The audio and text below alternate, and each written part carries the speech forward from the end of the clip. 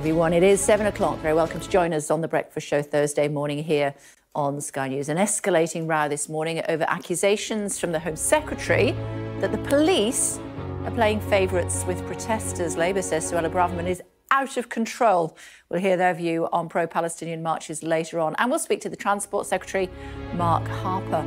It's Thursday, the 9th of November. A government source brands the Home Secretary ignorant after she says hate marches are what we are more used to seeing in Northern Ireland. A poll for Sky News finds half of Britons think Saturday's Armistice Day march by pro Palestinian protesters should be banned. Also ahead, the government orders an independent inquiry into the deaths of 27 people in the English Channel in 2021. Making tech safer, Ofcom unveils new rules to protect children online. At the Republican debate here in Miami, candidates expressed unequivocal support for Israel in its fight against Hamas. The end of panda diplomacy. Three of the giant bears on loan from China to the US shipped home. And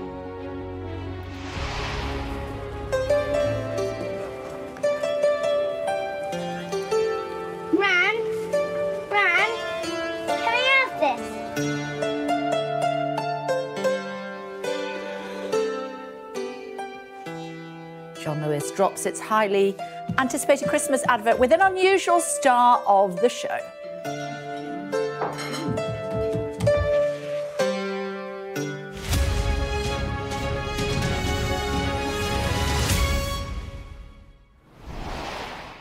When we say dropped, we mean it's just landed. You probably got that. Good morning. The Home Secretary has accused the Metropolitan Police of playing favourites with protesters. Suella Braverman claimed that senior officers are biased and employed a double standard towards pro Palestinian marchers compared to right wing protesters. She also compared what she calls hate marches to sectarian parades in Northern Ireland, provoking a furious response from within the government, with one source describing her as ignorant. Writing in the Times, she said, I do not believe that these marches are merely a cry for help for Gaza. They are an assertion of primacy by certain groups, particularly Islamists of the kind we are more used to seeing in Northern Ireland. Also disturbingly reminiscent of Ulster are the reports that some of Saturday's march group organisers have links to terrorist groups, including Hamas. She went on, unfortunately, there is a perception that senior police officers play favourites when it comes to protesters. Right wing and nationalist protesters who engage in aggression are rightly met with a stern response, yet pro Palestinian mobs displaying almost identical behaviour are largely ignored when clearly breaking the law. Mari's here with us this morning. Uh, what's she thinking? That's the question, isn't it, Kay?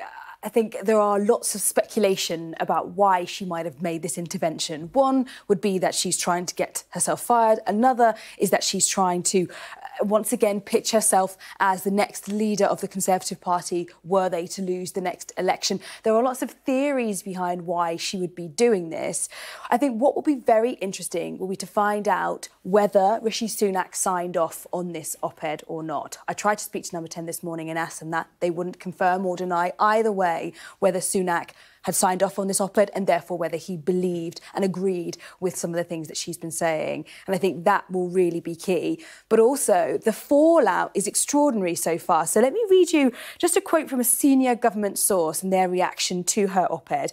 They've said it's wholly offensive and ignorant of where people in Northern Ireland stand on the issues of Israel and Gaza. And they go on to say, it's clear that the Home Secretary is only looking after her misguided aspirations for leader rather than being a responsible leader as a Home Secretary. Now, the Labour Party have called her out of control. They've said she's undermining respect for the police and that she's also inflaming community tensions. I think what will be interesting is how Tory MPs and even ministers behind the scenes react to this op ed and whether they all pile in behind her or whether we start to see more divisions. Already, from what she's been saying about hate marches, we've seen cabinet splits, we've seen every minister so far on your sofa not say that they would use those words. And I think that is really interesting. And also important to add, the Met Police for now have not uh, commented on this. No, I'm sure they won't either. Let's see. Uh, Mark Harper, Transport Secretary, talking to us very shortly.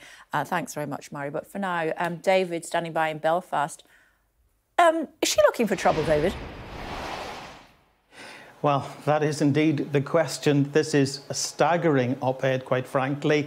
Uh, many people will see it not as an own goal by the Home Secretary, but as a hat trick of own goals, because they will regard it as ignorant, offensive, and dangerous in terms of Northern Ireland. Uh, she has demonstrated a, a, a, breathtaking ignorance in relation to this place because it is Protestant loyal orders who are responsible for the vast majority of marches here. And we're talking about people who would be natural allies of her Conservative and Unionist Party. They are pro union, pro Brexit, pro Israel, everything that Suella Braverman stands for.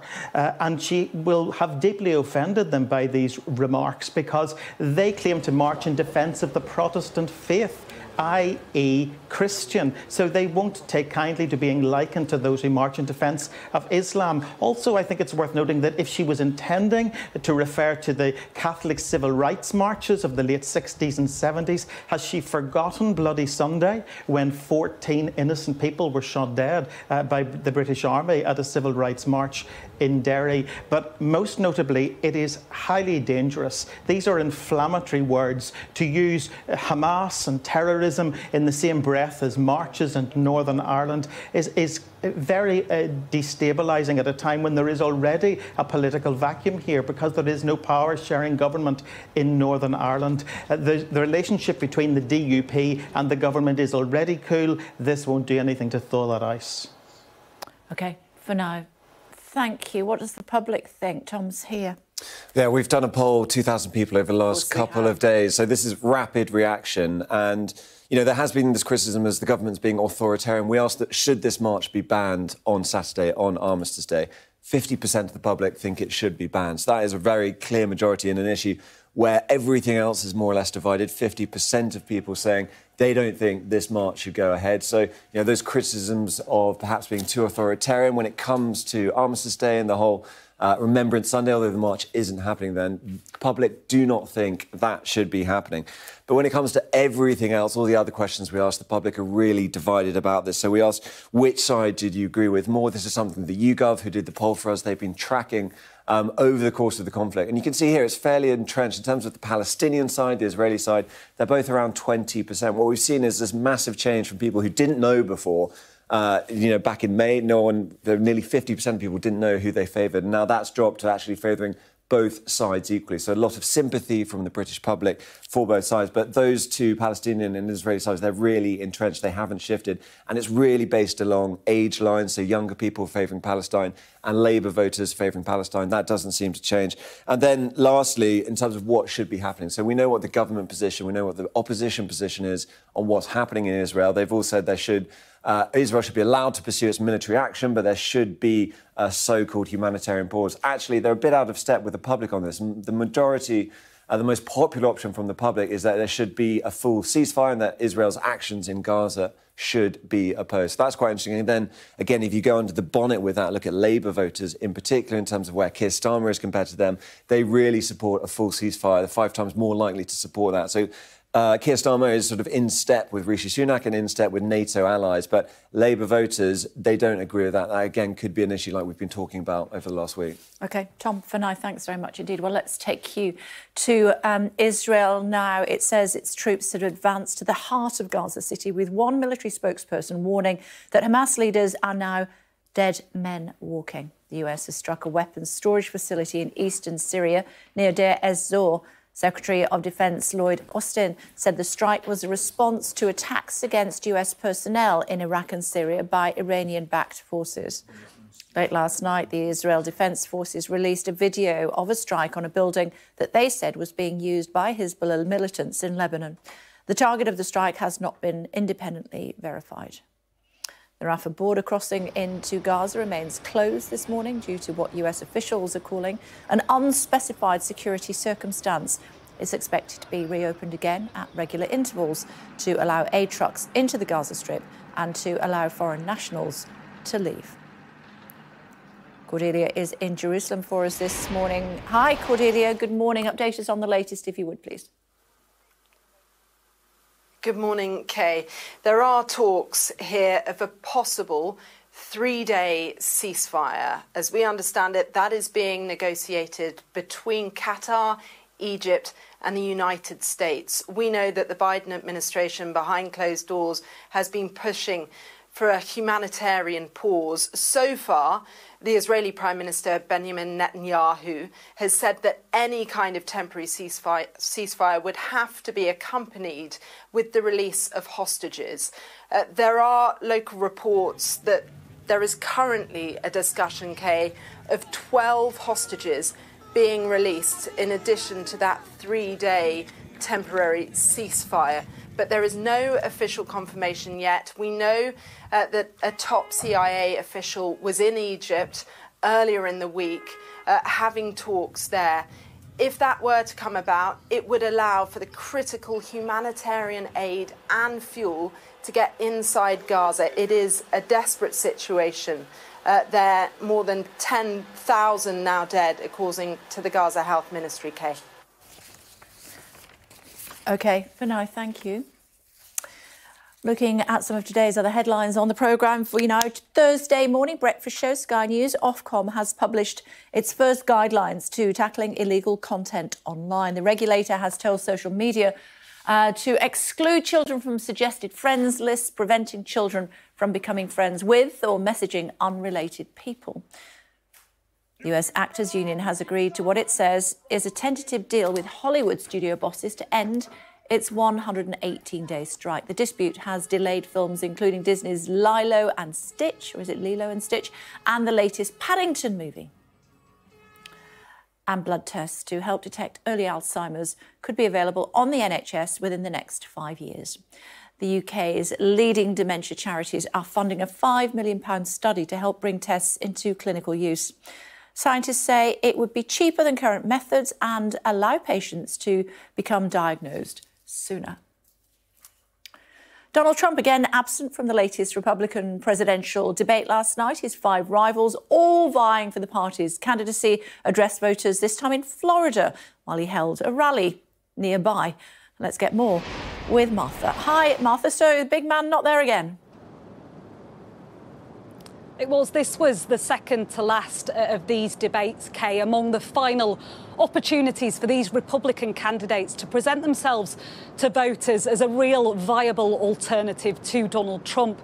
In honesty, I'm not sure that any of them managed to move the dial a great deal. The first hour of this debate focused mainly on foreign policy. There was a broad, verging on bloodthirsty consensus among the candidates in support of Israel's offensive in Gaza. Donald Trump, as you said there, a no show yet again at these debates. Not that it seems to be affecting his chances very much at all.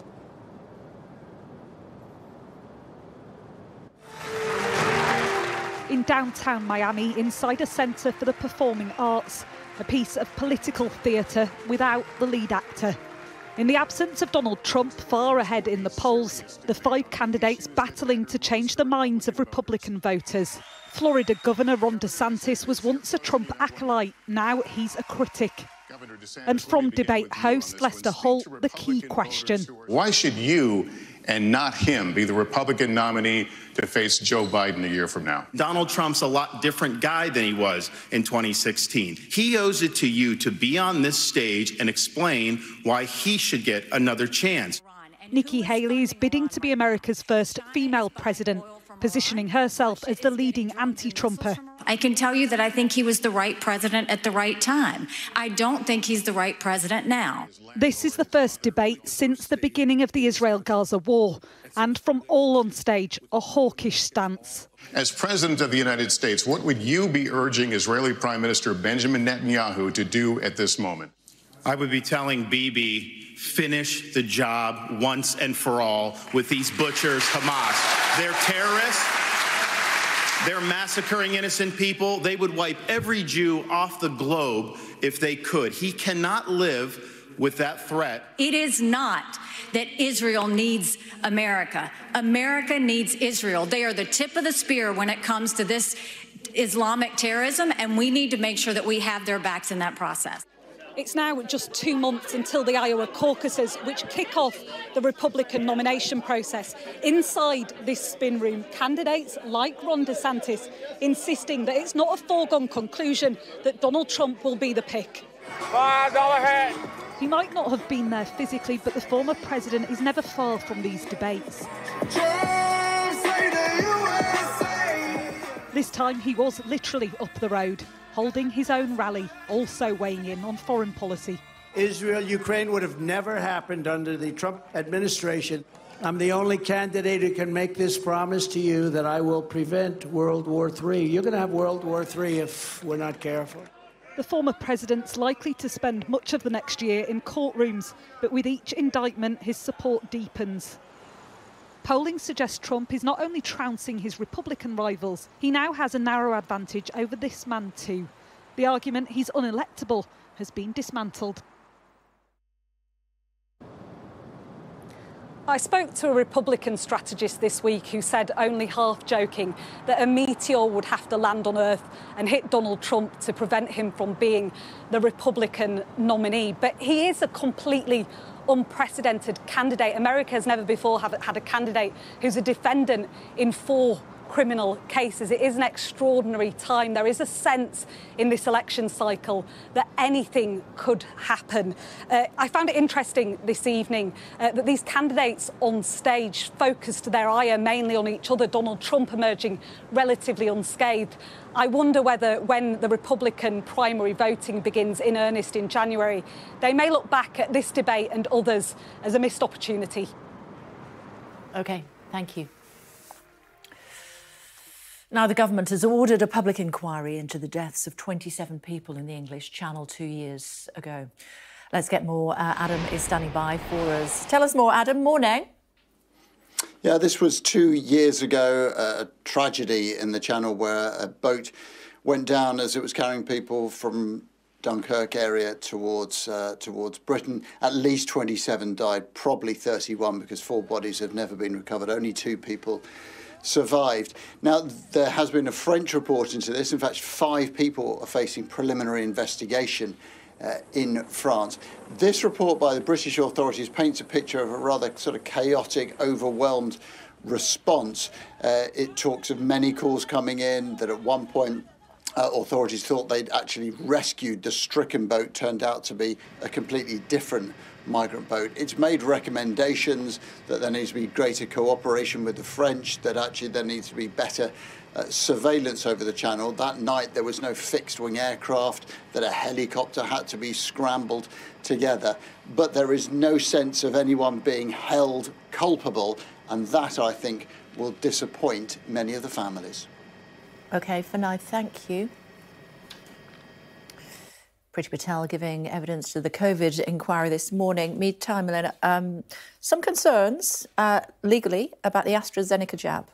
Yes, they're facing a lawsuit from people who have uh, had those very rare side effects after getting the Oxford AstraZeneca jab. One of them uh, is Jamie Scott. He's a father of two. He had a blood clot uh, that caused him a brain injury after getting his jab. Now, he's already had some compensation from the government, £120,000, but he and his wife say because the brain injury caused by this blood clot, caused by the vaccine, has uh, made him stop work, basically he can't work anymore, that's simply not enough, so he is going to sue the company. Now, another person has also brought a claim, uh, a man whose wife died after getting the first dose of the uh, Oxford AstraZeneca jab, and the coroner ruled that she died as a result of very rare complications from the jab. Now, at this point, I think it's important to say that this vaccine has been proven by independent studies to be incredibly effective and incredibly safe. There's been more than 3 billion doses across 180 countries in the world. Scientists say it saved something like 6 million lives, but it's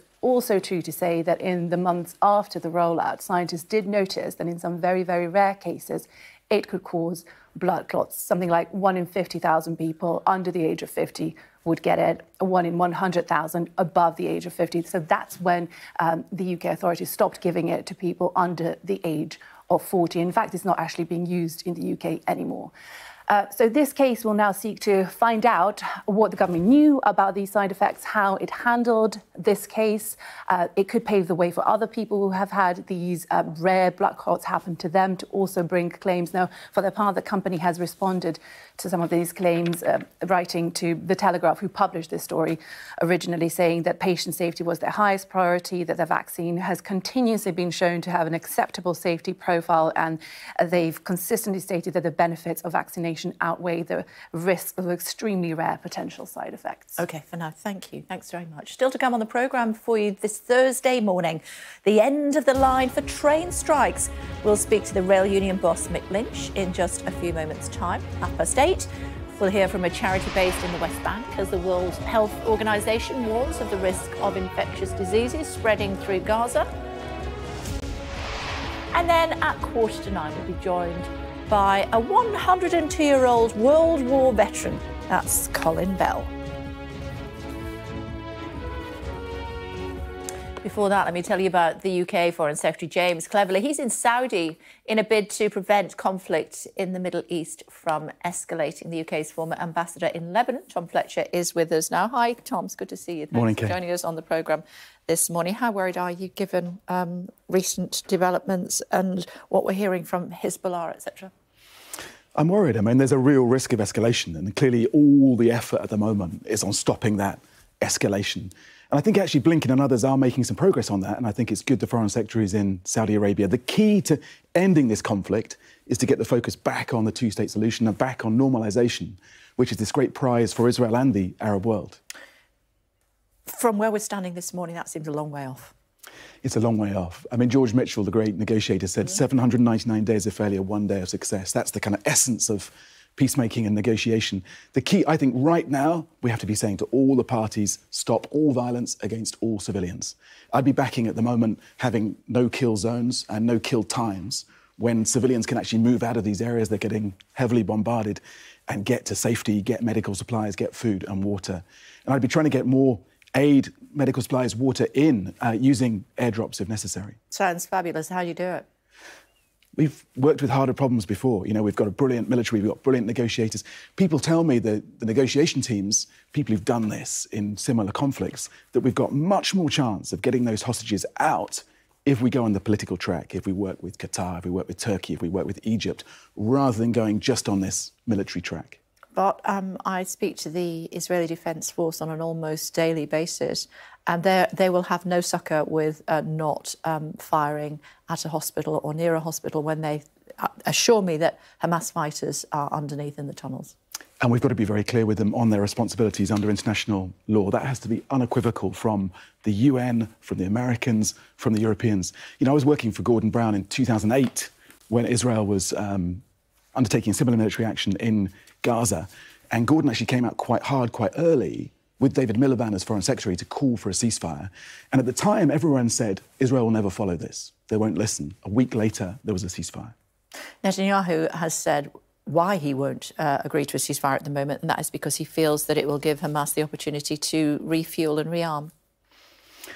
There's a danger, but we've got to get together some sort of contact group. We've got to work with the Egyptians, we've got to work with the Qataris, we've got to work with all the regional powers to basically help a new Palestinian leadership emerge. The more moderate Palestinian leadership, as there is in the West Bank, reassert control in Gaza. But that, that takes politics, it takes diplomacy, it takes negotiation. You can't bomb that outcome. A lot of people that I've been chatting to um, over the last month have asked 7th of October, why now? Why did Hamas do what they did on that fateful day? It was a grim day, and it's you know it's hard to believe it's a month ago. Those awful, awful pictures. I mean, the horrors of that day. I think they did it because they wanted to try and kill off this process of normalization. Israel was, and we heard it from Mohammed bin Salman, the, the Saudi king, probably within a month, I think, of a, of a peace deal with the Saudis, with the rest of the region. I mean, there's the rub, isn't it? It's about the Saudis, yeah. And it's all about breaking that, stopping that happening. And so I would say to the Israelis and the Saudis and others in the region, you know, let's get back to that real price. Don't give Hamas, Iran, the Israeli hard right this chance to kill off that peace process and kill off the two-state mm. solution. Netanyahu um, re- replying to um, the Deputy Secretary General of Hezbollah, speaking to our sister outlet NBC, and he uh, was saying um, complete confrontation uh, if necessary or as necessary. Um, he's basically, Netanyahu saying in response, you know what, stay in your lane or I'm coming for you guys as well. Can Israel afford to fight on two fronts? I think it'd be devastating for Israel. It'd be devastating for the region. It'd be devastating for Lebanon, the country in which I served. The Lebanese people don't want that. I don't think the Israeli people want that. We've got to get the focus on getting these hostages back, which takes politics, takes negotiation, and stopping confident? these attacks on civilians. Mm, Are you still confident? Yeah, I am. I mean, we've been in situations like this before where we've managed to get hostages out, but you've got to find a way to talk. You've got to find a way to make the politics work. And everyone I know who's involved with those discussions, including special force, special forces leaders and others, think that it's the politics that will get the results and not the military operation. Um, we are seeing uh, a child in Gaza killed every 10 minutes, I believe, is, is the latest figures.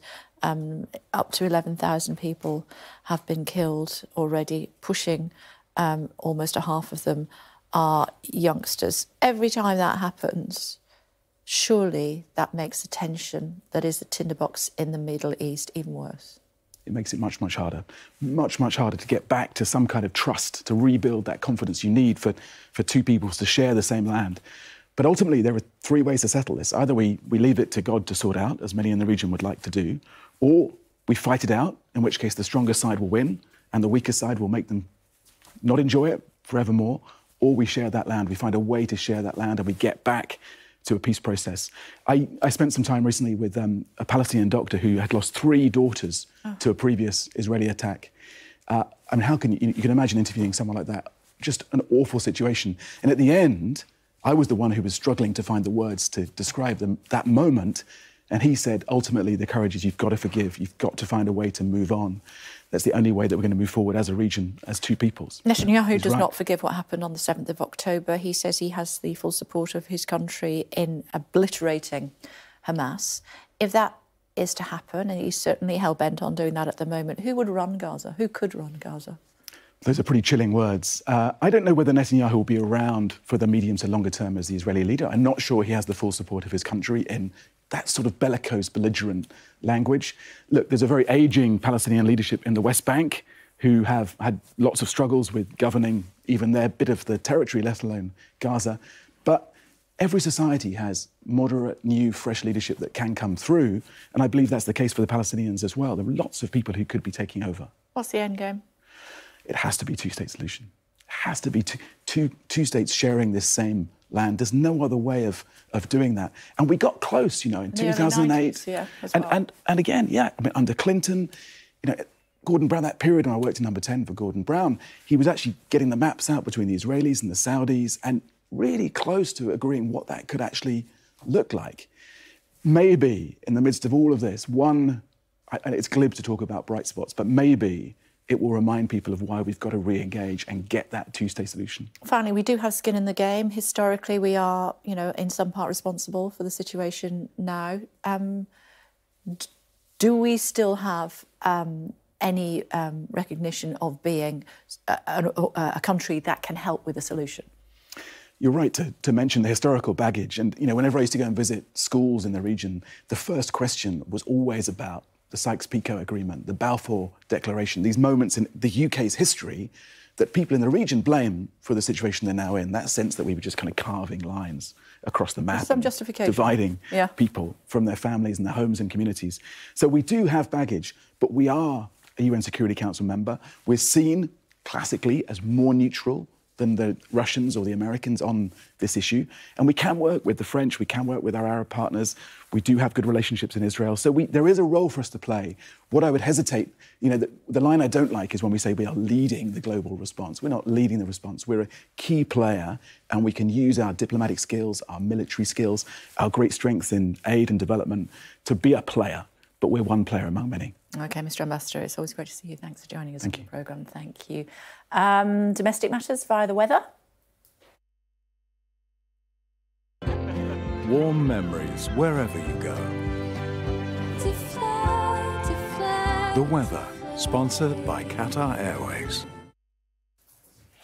Back to sunshine and showers today, turning drier into the weekend. Expect more rain on Sunday. Quite chilly now, windy with heavy showers in the west and far southeast, but much of the east is fine. Sunny spells, further showers this morning with thundery downpours likely, but many eastern parts look like staying dry. It's going to be colder than recently and windy in the south.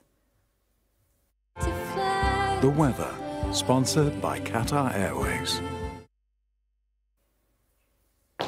Now, these uh, animals might be considered to be cute and cuddly, but they represent a lot more on the world stage. After more than two decades at a zoo in Washington, a family of giant pandas have been flown home to China. Mei Xiang and Tian Tian, along with their three year old cub, boarded the aptly named FedEx Panda Express en route to a reserve in Chengdu. The US first welcomed pandas from China back in 1972 and showed good relations between the two countries.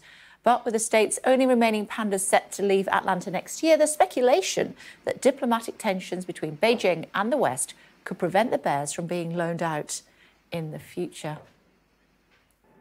In other words, they're not going to pander to us. Coming up, we'll get the view. Know, we'll get the view of the Transport Secretary on Suella Braverman's comments accusing the Met Police of being soft on left-wing protests. Could there soon be an end to the rail strike? Chatting to Mitley.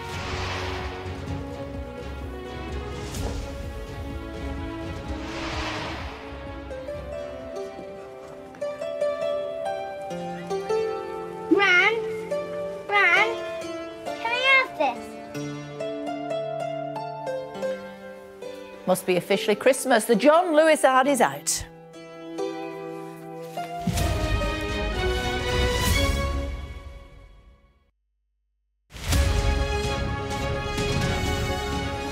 Well, I mean, this has been an issue um, for some time, um, and it always gets worse around winter, which is the, classically the time that every year NHS services are under a lot more pressure. Um, and we're finding patients are opting to go privately for their for their healthcare um, because it's quicker and, and they feel they'll they'll get a more prompt service. I think what's happening is um, things like on the day GP services or going to clinics locally that you can pay for. People are choosing to do that because often the wait for their GP can be be a bit longer. Um, I think that it does free up appointments, probably, but I think what would be better if we had an inclusive NHS system where everyone could be seen in time. We, we, in my practice, we have a triage system, so often the most serious people get seen on the day or quicker if um, within the hour if we feel that they need to be seen. Um, for the more routine things, that's where people tend to struggle a little bit more. So um, it could be two weeks before they see a routine. Wow. Yeah, and that's a problem, which is why you're often seeing the routine things going to the private sector. And it's really important that people actually, if they're in the vulnerable groups, get the COVID and the flu vaccines. Often there are extra services put in place because it's such an important thing because reducing the amount of people getting those um, illnesses actually takes pressure off the NHS. So there is a lot of push to get people done and um, getting these on the weekends or in their local pharmacy, places which are more accessible.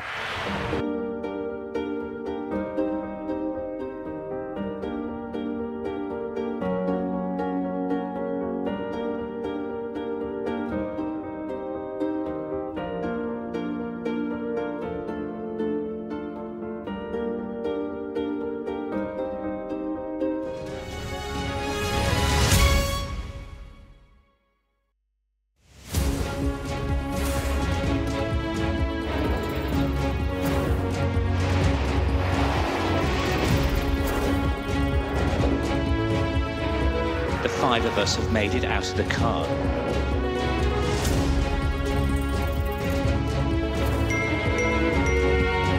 Welcome to Backstage, the film and TV podcast.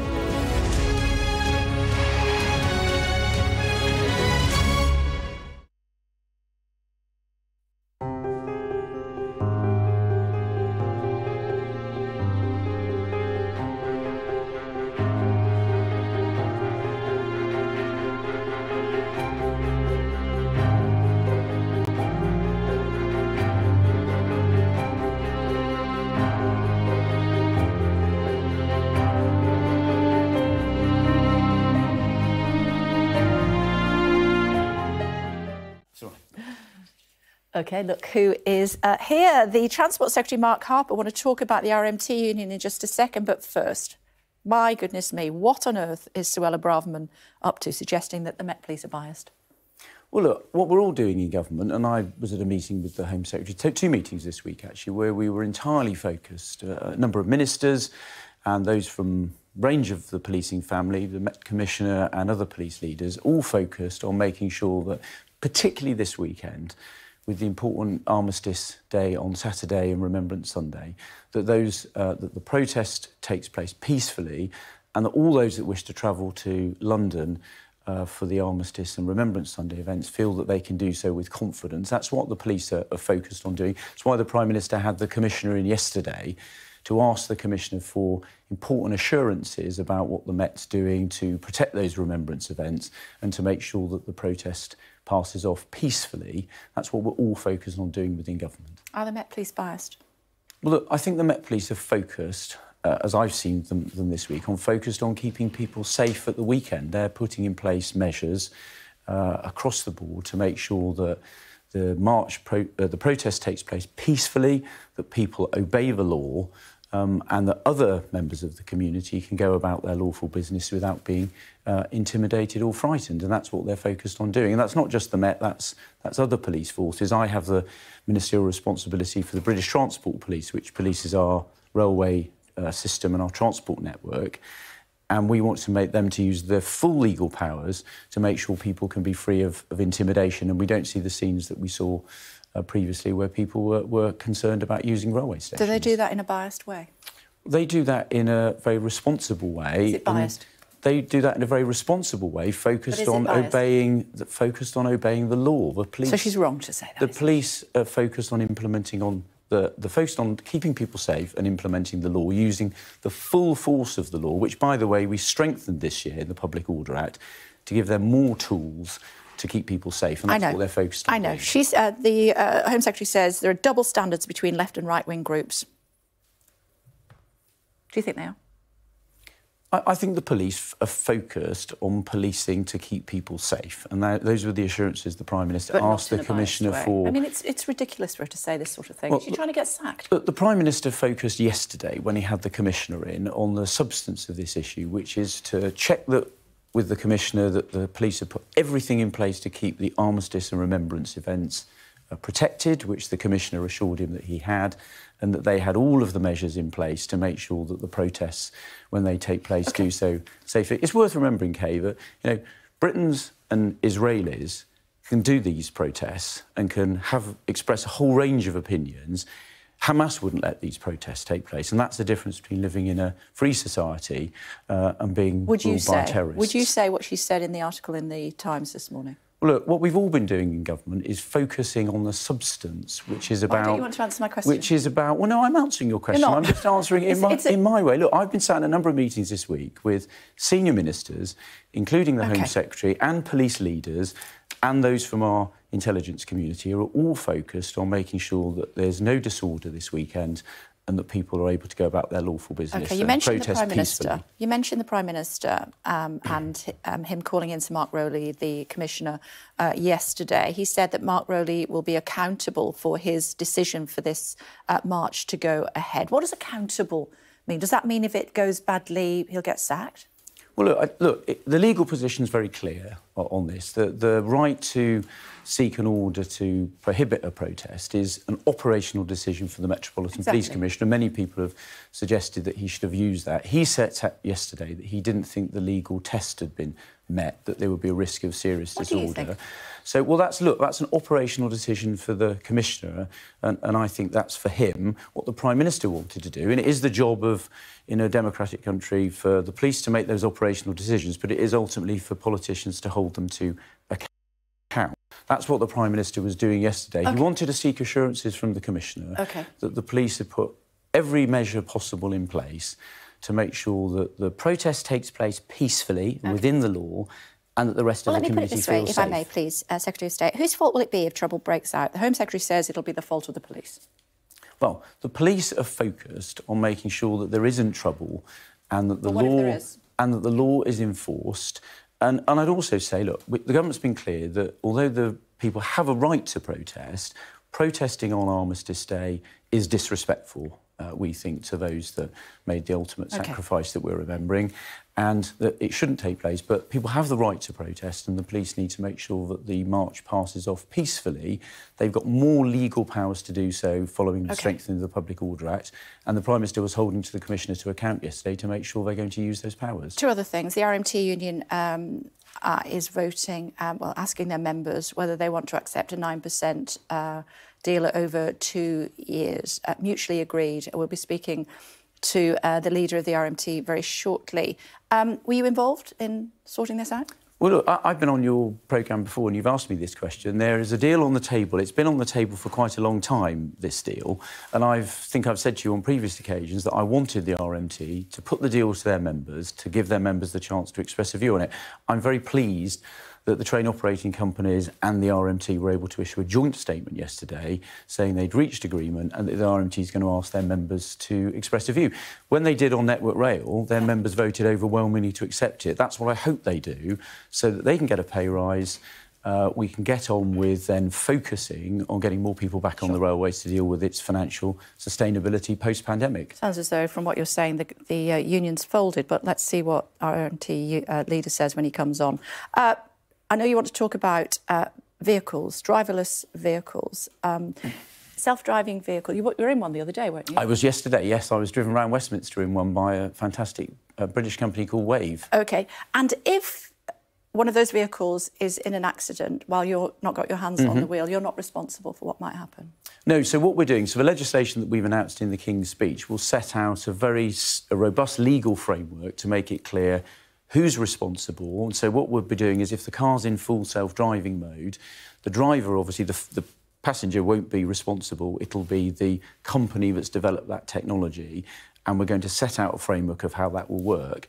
And by giving companies that regulatory certainty, it makes Britain the best place in the world for companies to develop that technology. The important thing for people at home to, to remember is actually this is about how you improve road safety. Um, the overwhelming majority of accidents that take place have some level of driver uh, human error involved in them.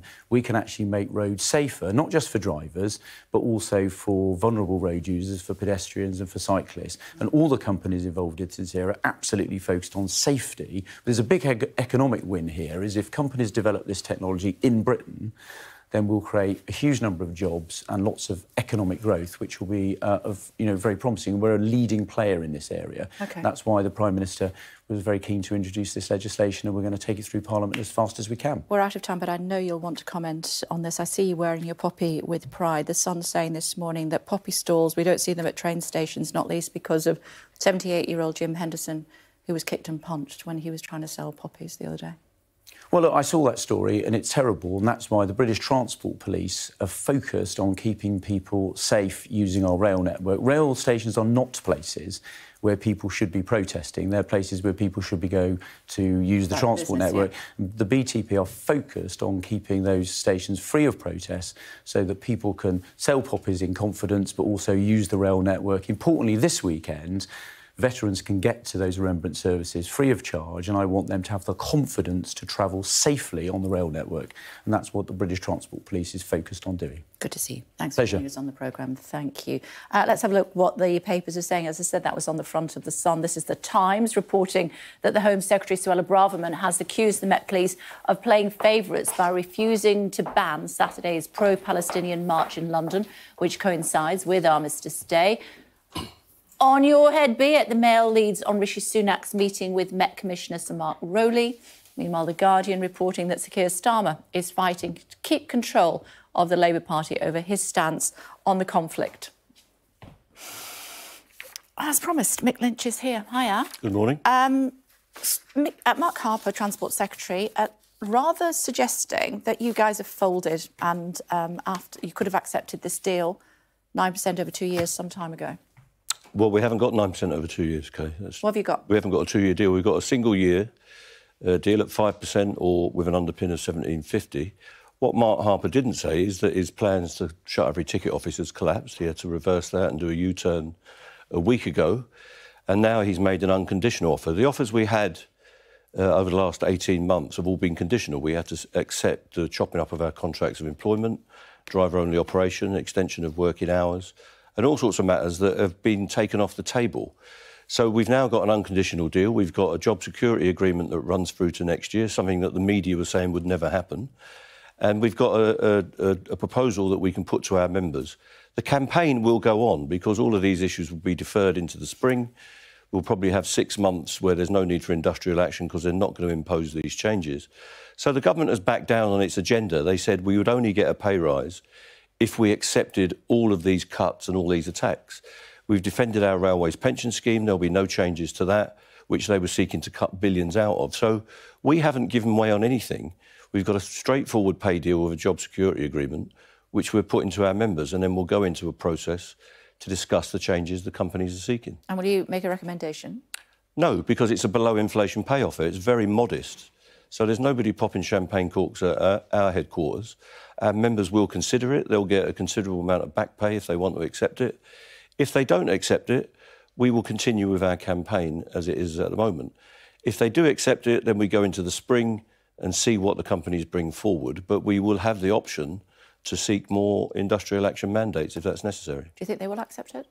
I don't know. We'll have to see. They've only got the news last night at uh, four or five o'clock. We'll be getting the information out to them. We'll give them all the documentation, and then they'll make their decision. We'll clarify it and explain what it all means, and they'll make their decision. Would you accept it?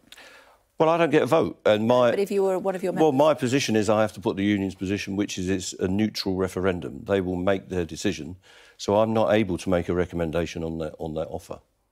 It sounds, though, from what you're saying, that you don't think it's a great offer. It's not a great offer. Nobody's going to pretend it is. It's below inflation. Our members haven't had a pay rise for four years. This is one instalment on a, a pay proposal from two years ago. Uh, we haven't done this year's pay, and we should be doing next year's pay soon. So our campaigns to get our members a decent pay rise and to protect their terms and conditions will continue even during this referendum, and we'll hold our position in the new year that we will not accept uh, the imposition of changes on our contracts. When will you know what the members think? At the end of November, on the 30th of November, the ballot will be returned. OK. Um, Christmas strikes, yes or no? Likely, not likely? Well, if our members accept these proposals, there'll be no need for strikes. If they don't accept them, if they reject it, then that option is available. Mm, so Christmas strikes are still on the cards, depends well, what your members say. We haven't got any strikes planned. We haven't uh, named any strikes, and we'll review what happens after the result comes in. OK, it's good to see you. Thanks for joining us this morning, Mick. Thank you. Thank you. Still to come on the programme for you, we're going to be speaking to a former chief superintendent of the Met as the Home Secretary accuses the force of playing favourites over planned pro Palestinian protests at the weekend. I wonder what he's going to say.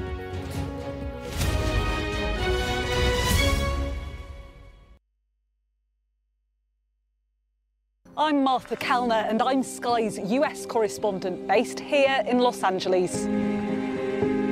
It's turning everybody into, you know, a crazy, violent drug addict. How are you feeling? You, I am angry. It is an anti-woman agenda. Two women say that you paid for their abortions. Are you a hypocrite, sir? Will your candidates win? I hope so. I think they will. I think they're great candidates. I gotta be realistic. My sister's dead. More than four weeks on, there's no murder weapon and no suspect. Are you going to catch this killer? We are doing everything we can. Ghislaine Maxwell has pleaded not guilty to all six charges against her. Mum, how are you feeling today? Jeffrey said, you answer to Ghislaine, you just don't cross her. They're so excited. Severe nightmares of these people coming in and just taking me in the middle of the night. I've watched as whole towns were torn apart by natural disaster. I'm alive and I'm thankful for that, but there are a lot of people who aren't. It's not the winds people fear most here, it's the water. We take you to the heart of the stories which shape our world. Do you truly believe what you're saying? A lot of cases that I know are reported from Ukrainian missiles themselves. Ambassador, with respect, I think that's preposterous.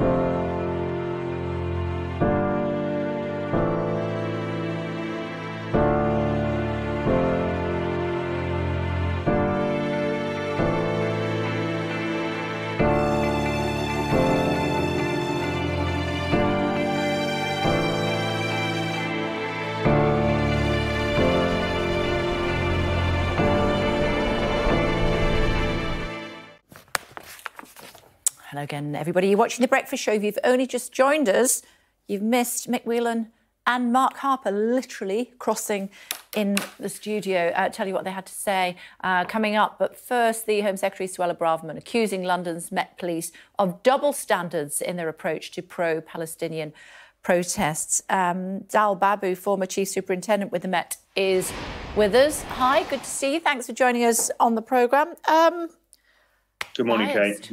Biased, the Met, we hear. I, mean, I, I can't believe what I'm hearing, Kay. This is unprecedented. Uh, we have a situation where somebody occupying one of the great state offices is in a public spat with the police commissioner. The operational decisions are made by the police. Have always will be, always will, always should be. It's about gathering the intelligence and basing, based on intelligence, making a decision on what they should be doing. Uh, the politicians don't have access to that intelligence. They don't understand public order tactics. They don't know, don't understand what can be done and what can't be done. And the governance is very, very clear, and it has been clear for many decades. And in fact, on one occasion, have the, we, in my history, have the police stopped a demonstration, which was in 2011. It was the English Defence League who were trying to march past a mosque in Tower Hamlets. All the other occasions when we've seen marches, demonstrations, some will have significant amounts of uh, problems and challenges. They've all been allowed to go ahead. And we, we are not Russia, we, we are not China, we're not Iran. Um, we, we need to ensure that we facilitate demonstrations that are lawful and, and deal with individuals that break the law.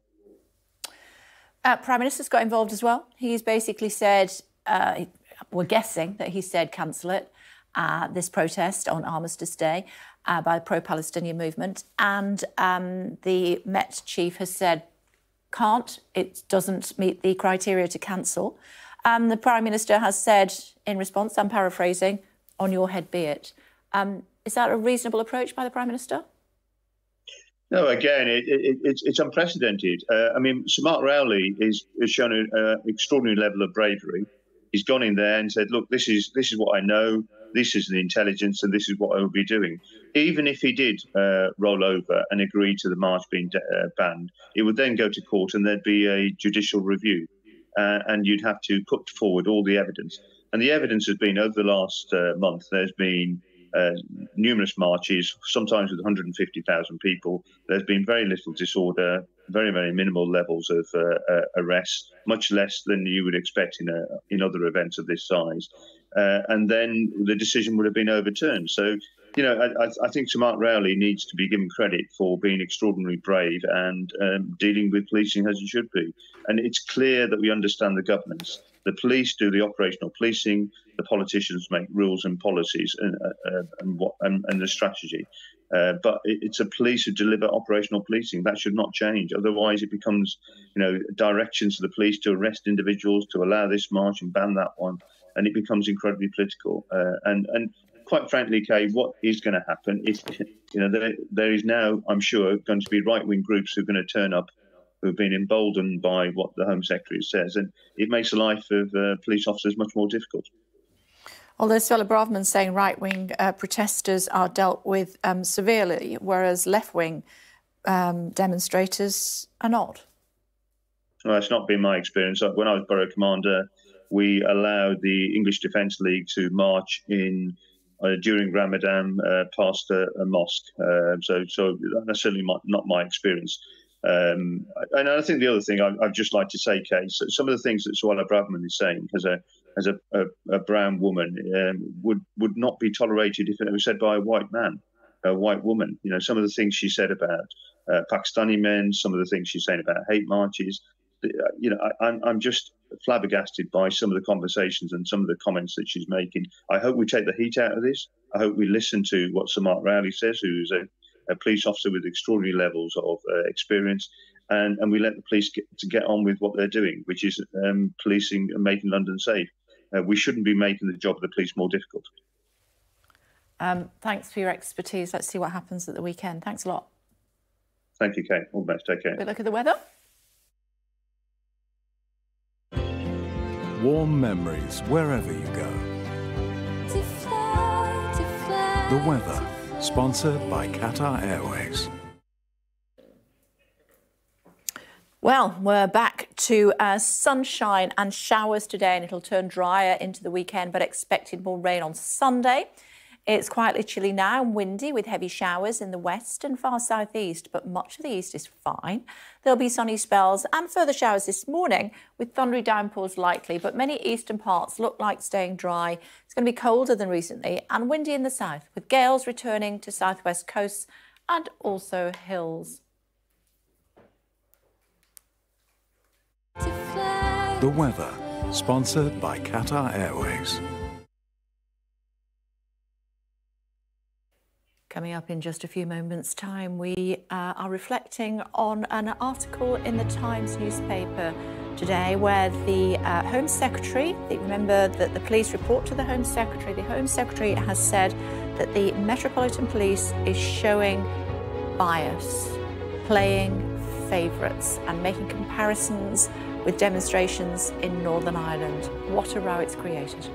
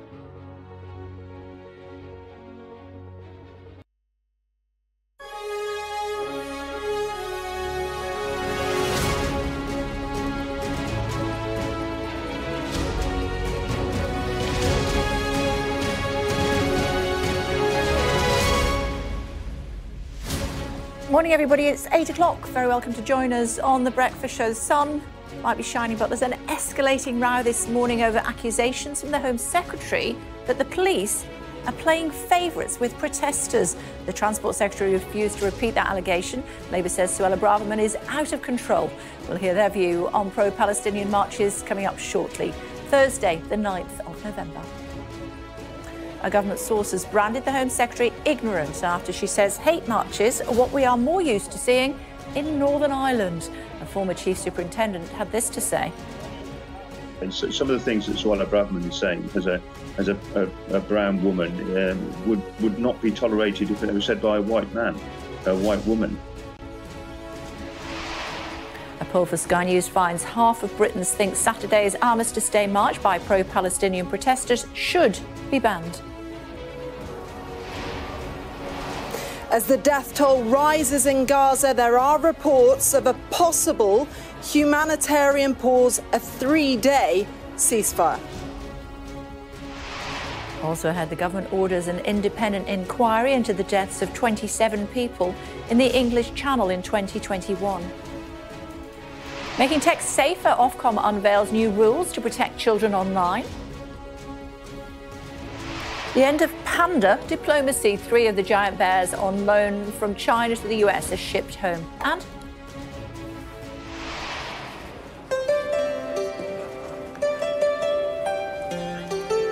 Gran, Gran, can I have this? Yep, you guessed it. It's the John Lewis Christmas ad.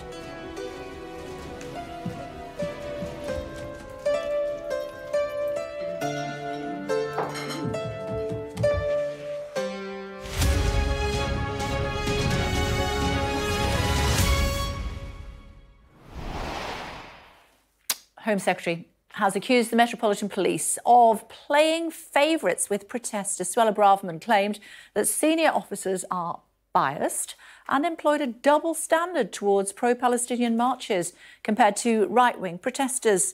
Former Met Superintendent Dal Babu told us just a few moments ago he couldn't believe what he was hearing.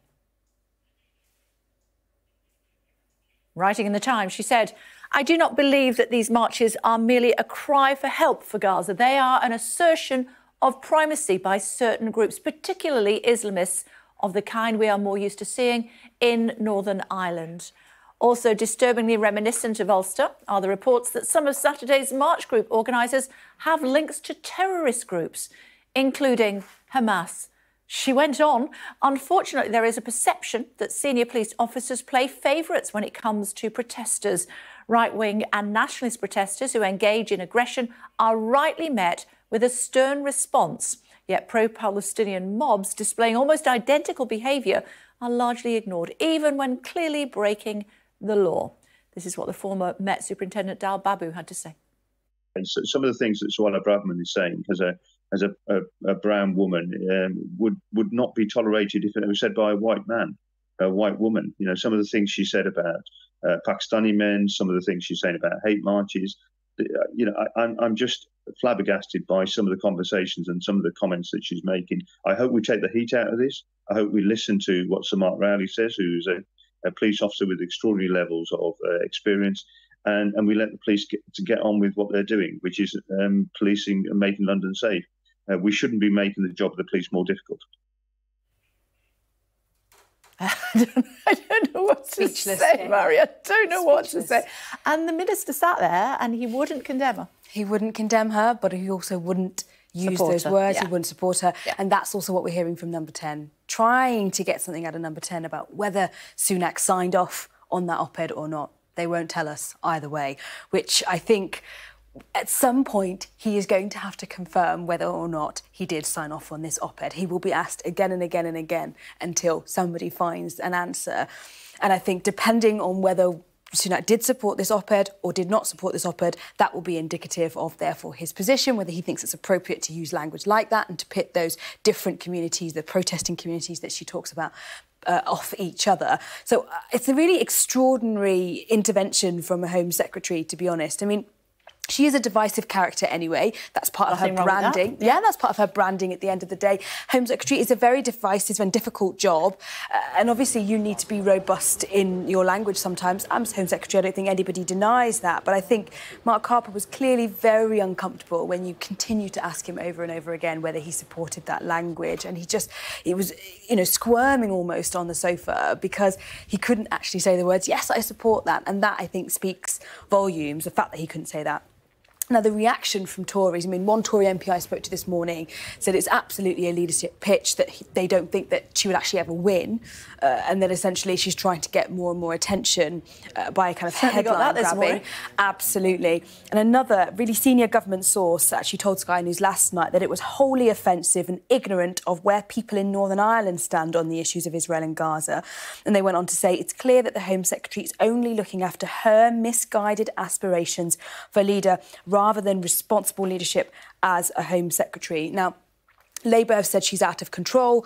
Some would say, well, Labour would say that they're in opposition. But I think nonetheless, people at home might be wondering is that kind of rhetoric what we can see for the future? If she stays in posi- position, if she stays in post, are we going to see more and more of this type of inflammatory language ahead of a general election to try and essentially win over the right of the party? I think there are some nerves within the Tory party. They could lose votes to reform, for instance. Sure. David's with us actually in Belfast. David, I'm going to have to put my glasses on for this. Um, the Home Secretary compared what she called hate marches to sectarian parades in Northern Ireland. How many people is she offended by saying that? A, a huge number. I'm rarely lost for words, but I was last night when I read this op ed for the first time. Uh, we've got one former cabinet minister describing it as ignorant and offensive. Many people here will describe it also as dangerous, given the context of Northern Ireland. And let me explain why.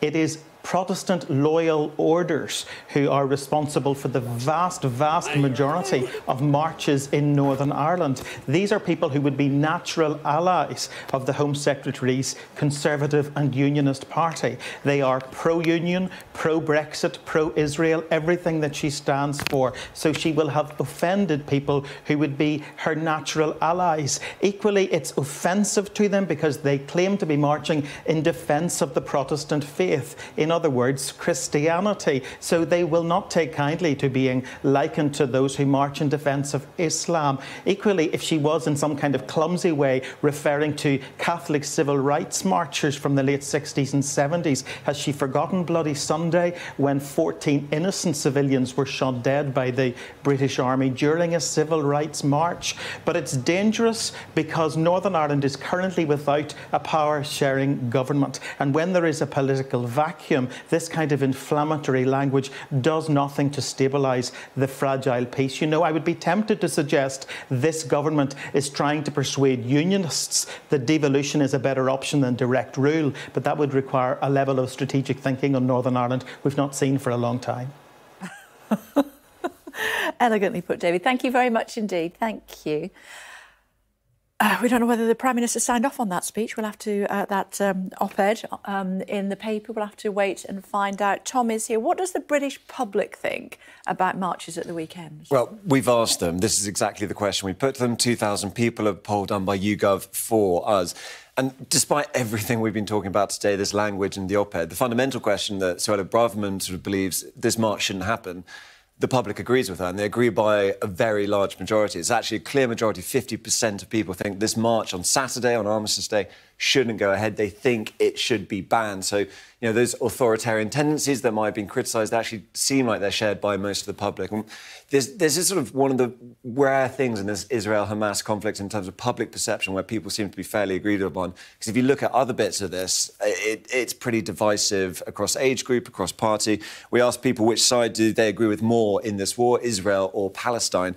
Uh, and you have this sort of fairly entrenched support, the Palestinian side, the Israeli side. You can see those two on the bottom. They haven't really changed. It's about 20% of people supporting each. Where there has been a change is people going from I don't know about this conflict back in May to supporting both sides equally. So there is so that is the majority opinion, but that stubbornness of support and it does break down younger people and people who vote Labour tend to support the Palestinian side, uh, older voters, conservative voters on the Israeli side. And then the other thing we asked about is because there's been such a lopstep, uh, amongst the political leaders, um, Prime Minister, Leader of Opposition, about supporting Israel in its actions and what um, they think they should be doing in terms of as a humanitarian pause. Um, here we go. Um, most people think the UK should oppose Israel's actions and push for them to call a ceasefire. That's the most popular option. And then you've got support Israel's military actions, but call for a temporary ceasefire. That's closer to the government position. So again, the public going further really than the leaders wanted, and especially if you drill into that again in terms of the Labour vote. Labour voters are a lot more likely to oppose Israel's actions. They're a lot further away from Keir Starmer. So this is a very, very divisive issue, but it comes back to that march on Saturday. Most people in this country think that march should be banned. OK, uh, for now, uh, ceasefire, humanitarian pause. How likely is it? Uh, Cordelia standing by for us this morning uh, in Jerusalem. Uh, what is the latest from there, Cordelia? There are reports that there are delicate negotiations going on. As we understand it, the Egyptians, the Qataris, and the Americans have got together, and that there are discussions going on about the possible release of potentially a dozen hostages uh, in exchange for a temporary three day ceasefire. Uh, now, there is no official confirmation on this. Hamas has said it is willing to release 12 hostages, uh, but it says it's unable to currently because of the continued US airstrikes. Uh, Benjamin Netanyahu has so far been reticent, uh, rejecting calls uh, for these humanitarian pauses, which the international community have been asking for. Uh, but there is a sense that we are moving closer to a possible pause uh, in the next few days. That would allow critical aid to get delivered and fuel uh, as well. There is a mounting uh, death toll uh, within Gaza, and we've seen very dramatic images continue to play out from there. Uh, we will have to see. It is a, a real game of trust building, and there's a pretty big trust deficit at the moment. Cordelia, thank you a lot of trust deficits as far as the railways were concerned for some considerable time. The RMT, rather saying now, though, that it's uh, reached a deal with train operators that could bring their long running dispute to an end. Earlier, the Transport Secretary told me he hopes members of the rail union will accept the pay deal. The union leader says they haven't backed down. I wanted the RMT to put the deal to their members, to give their members the chance to express a view on it. I'm very pleased that the train operating companies and the RMT were able to issue a joint statement yesterday saying they'd reached agreement and that the RMT is going to ask their members to express a view. When they did on Network Rail, their members voted overwhelmingly to accept it. That's what I hope they do, so that they can get a pay rise. Uh, we can get on with then focusing on getting more people back sure. on the railways to deal with its financial sustainability post-pandemic. Sounds as though, from what you're saying, the, the uh, union's folded, but let's see what RMT uh, leader says when he comes on. The government has backed down on its agenda. They said we would only get a pay rise if we accepted all of these cuts and all these attacks. We've defended our railways pension scheme. There'll be no changes to that, which they were seeking to cut billions out of. So we haven't given way on anything. We've got a straightforward pay deal with a job security agreement, which we're putting to our members, and then we'll go into a process to discuss the changes the companies are seeking. Other news for you now. Um, Ofcom, uh, let's tell you about them. They've published uh, first guidelines to tackle illegal content online. The regulator has told social media platforms to exclude children from suggested friends lists, preventing children from becoming friends with or messaging unrelated people. US Actors Union has agreed to what it says is a tentative deal with Hollywood studio bosses to end its 118 day strike. The dispute has delayed films including Disney's Lilo and Stitch and the latest Paddington movie. Oof. A blood tests to help detect early Alzheimer's could be available on the NHS in the next five years. UK's leading dementia charities are funding a £5 million study to help bring tests into clinical use. Scientists say it would be cheaper than current methods and allow patients to be diagnosed sooner. Shadow Business and Trade Secretary in the form of Jonathan Reynolds is here this morning. Good morning. Good morning. Where do we start? Well, with the Home Secretary. What is that about? Uh, it's just genuinely out of control. But it's it's irresponsible, it's divisive, and fundamentally, it's so obvious what is going on here. This is a person who is completely driven by their own agenda, their own ambition. We know that. It's not a surprise there, as you say. But where is the Prime Minister in this? Do we believe the Prime Minister signed off that kind of inflammatory rhetoric? We don't know. We've asked. Well, he won't tell us. But why is he really too weak to sack his Home Secretary? I mean, that's the question we've got to ask. And I'll just say, look, in all of this, this is, this is a difficult time on lots of different ways. Surely the job of Home Secretary, the, the job of protecting the public, is one that demands respect, public service, not undermining the police they've got enough on, not undermining their operational independence. I just cannot believe.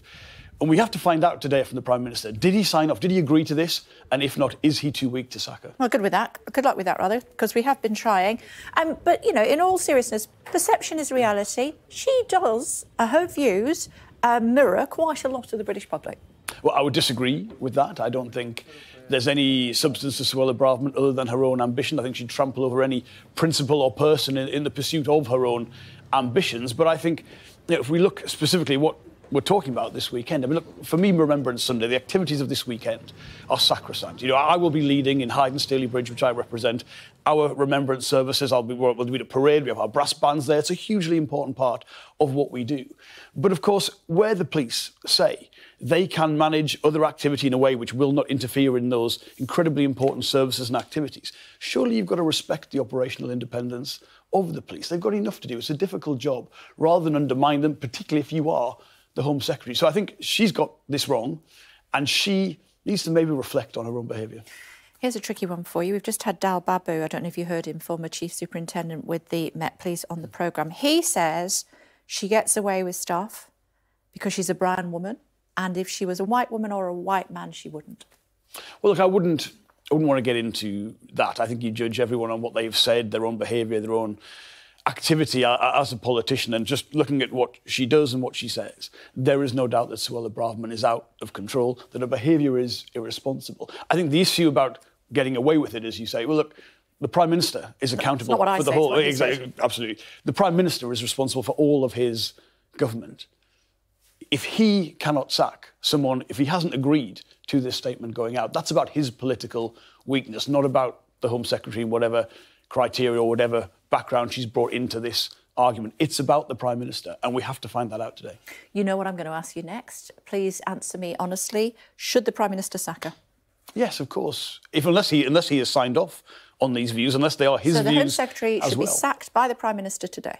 Well, unless she's simply representing his view. I mean, if they won't tell us that, it, it may well be the case. Though I would imagine if he had signed off on that statement, he would have found it quite easy to tell you and me this morning, so we would know that. But if you have a Home Secretary that is so out of control, so divisive, so inflammatory, undermining the police and therefore the national security and safety of the public, that's not someone who should be Home Secretary. So you should sack her, um, in your opinion. Um, would you take part in the marches on Saturday?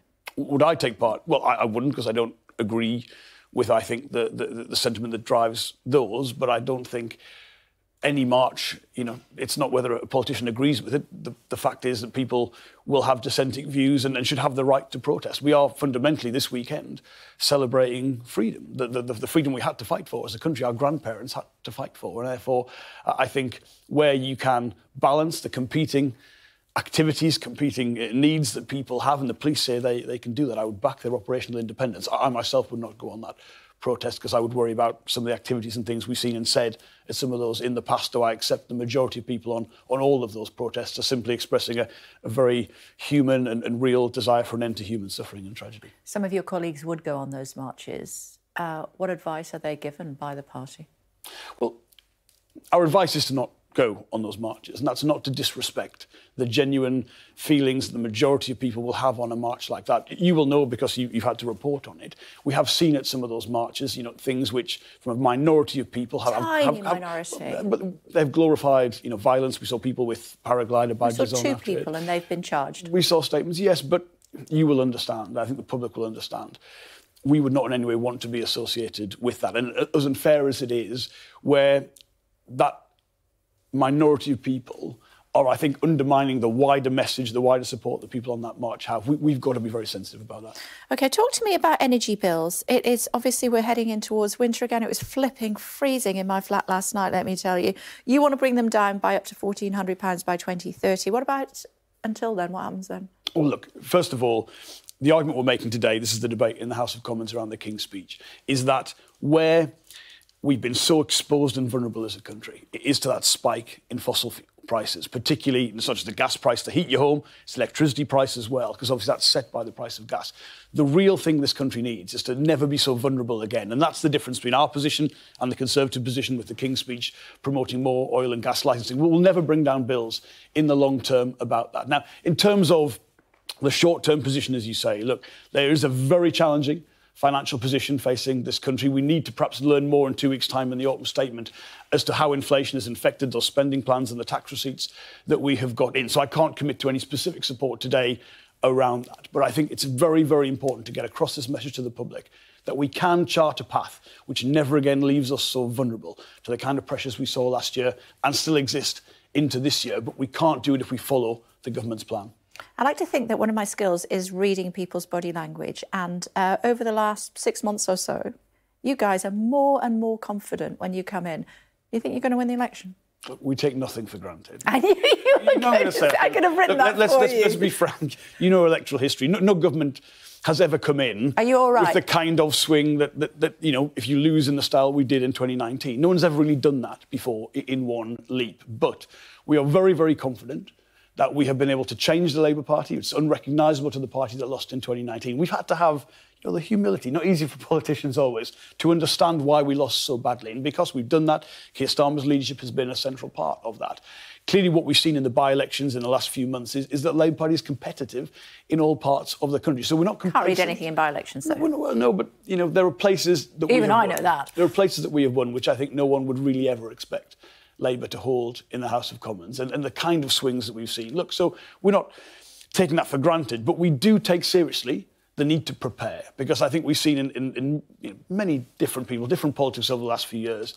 Boris Johnson, Nicola Sturgeon, people who've won elections, have they delivered on what they wanted to deliver? No, they haven't. So we take seriously the position that we're in, but we take nothing for granted. Okay, it's good to see you. Thanks very much for coming in. Thanks a lot. Let's tell you about Donald Trump. He didn't go to a Republican uh, presidential debate again yesterday. His five rivals did. This is what happened. in downtown Miami inside a centre for the performing arts, a piece of political theatre without the lead actor. In the absence of Donald Trump far ahead in the polls, the five candidates battling to change the minds of Republican voters. Florida Governor Ron DeSantis was once a Trump acolyte, now he's a critic.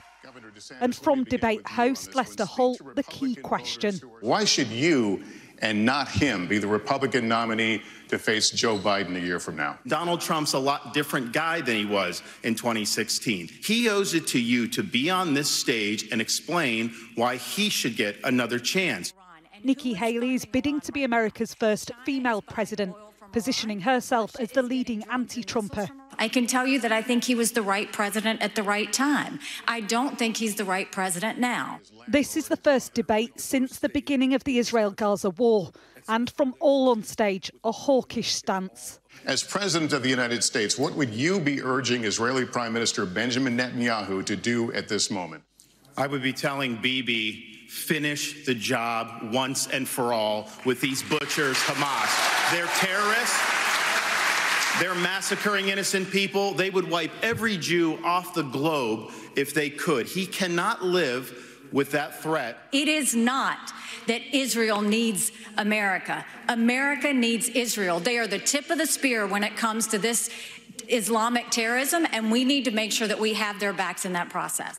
It's now just two months until the Iowa caucuses, which kick off the Republican nomination process. Inside this spin room, candidates like Ron DeSantis insisting that it's not a foregone conclusion that Donald Trump will be the pick. Five dollar hat.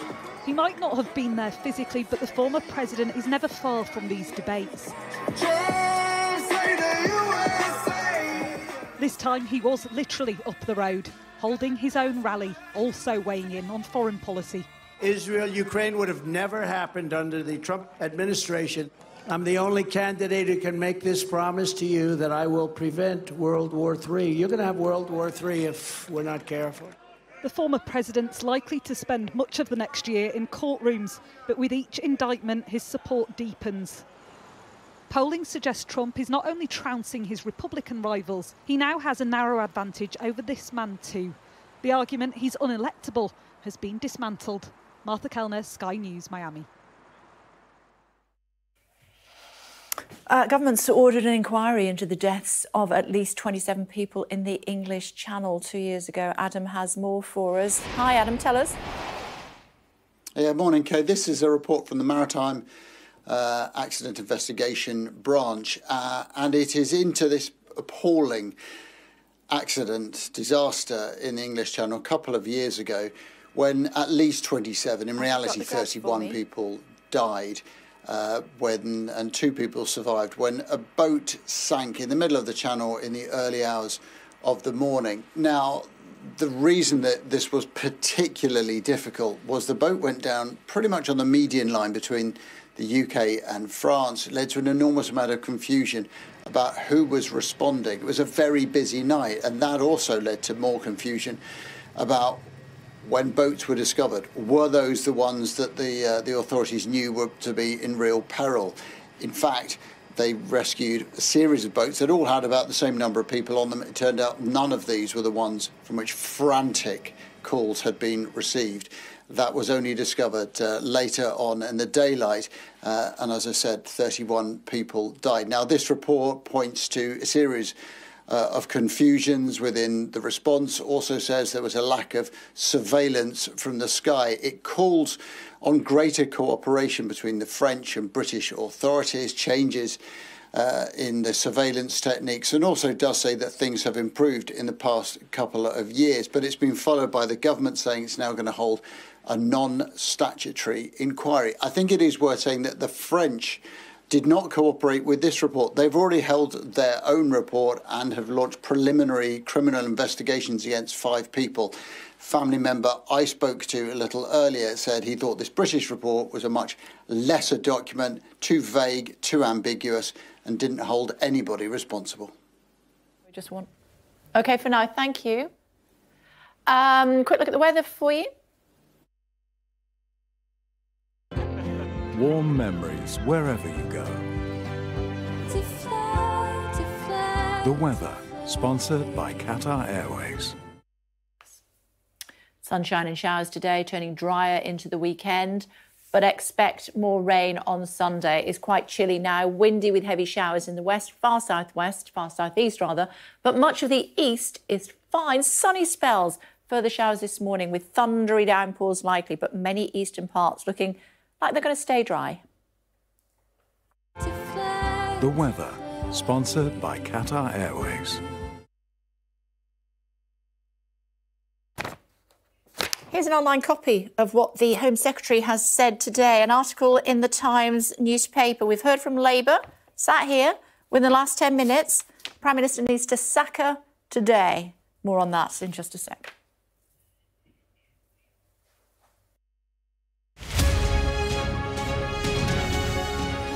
Well, I mean, this has been an issue um, for some time, um, and it always gets worse around winter, which is classically the time that every year NHS services are under a lot more pressure.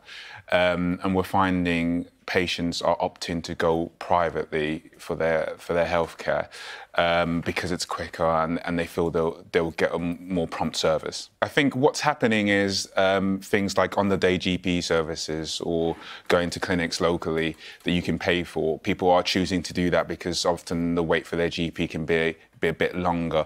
Um, I think that it does free up appointments probably, but I think what's would be better if we had an inclusive NHS system where everyone could be seen in time. We, we, in my practice, we have a triage system, so often the most serious people get seen on the day or quicker if um, within the hour if we feel that they need to be seen. Um, for the more routine things, that's where people tend to struggle a little bit more. So um, it could be two weeks before they see a routine. Wow. Yeah, and that's a problem, which is why you're often seeing the routine things going to the private sector. Now, it's really important that people actually, if they're in the vulnerable groups, get the COVID and the flu vaccines. Often there are extra services put in place because it's such an important thing because reducing the amount of people getting those um, illnesses actually takes pressure off the NHS. So there is a lot of push to get people done and um, getting these on the weekends or in their local pharmacy, places which are more accessible.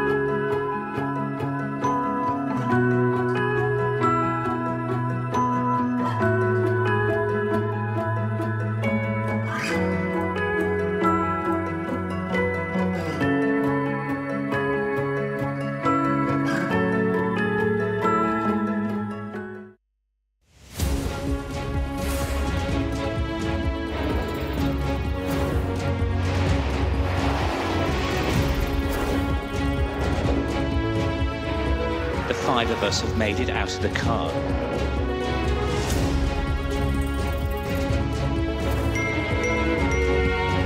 Welcome to Backstage, the film and TV podcast.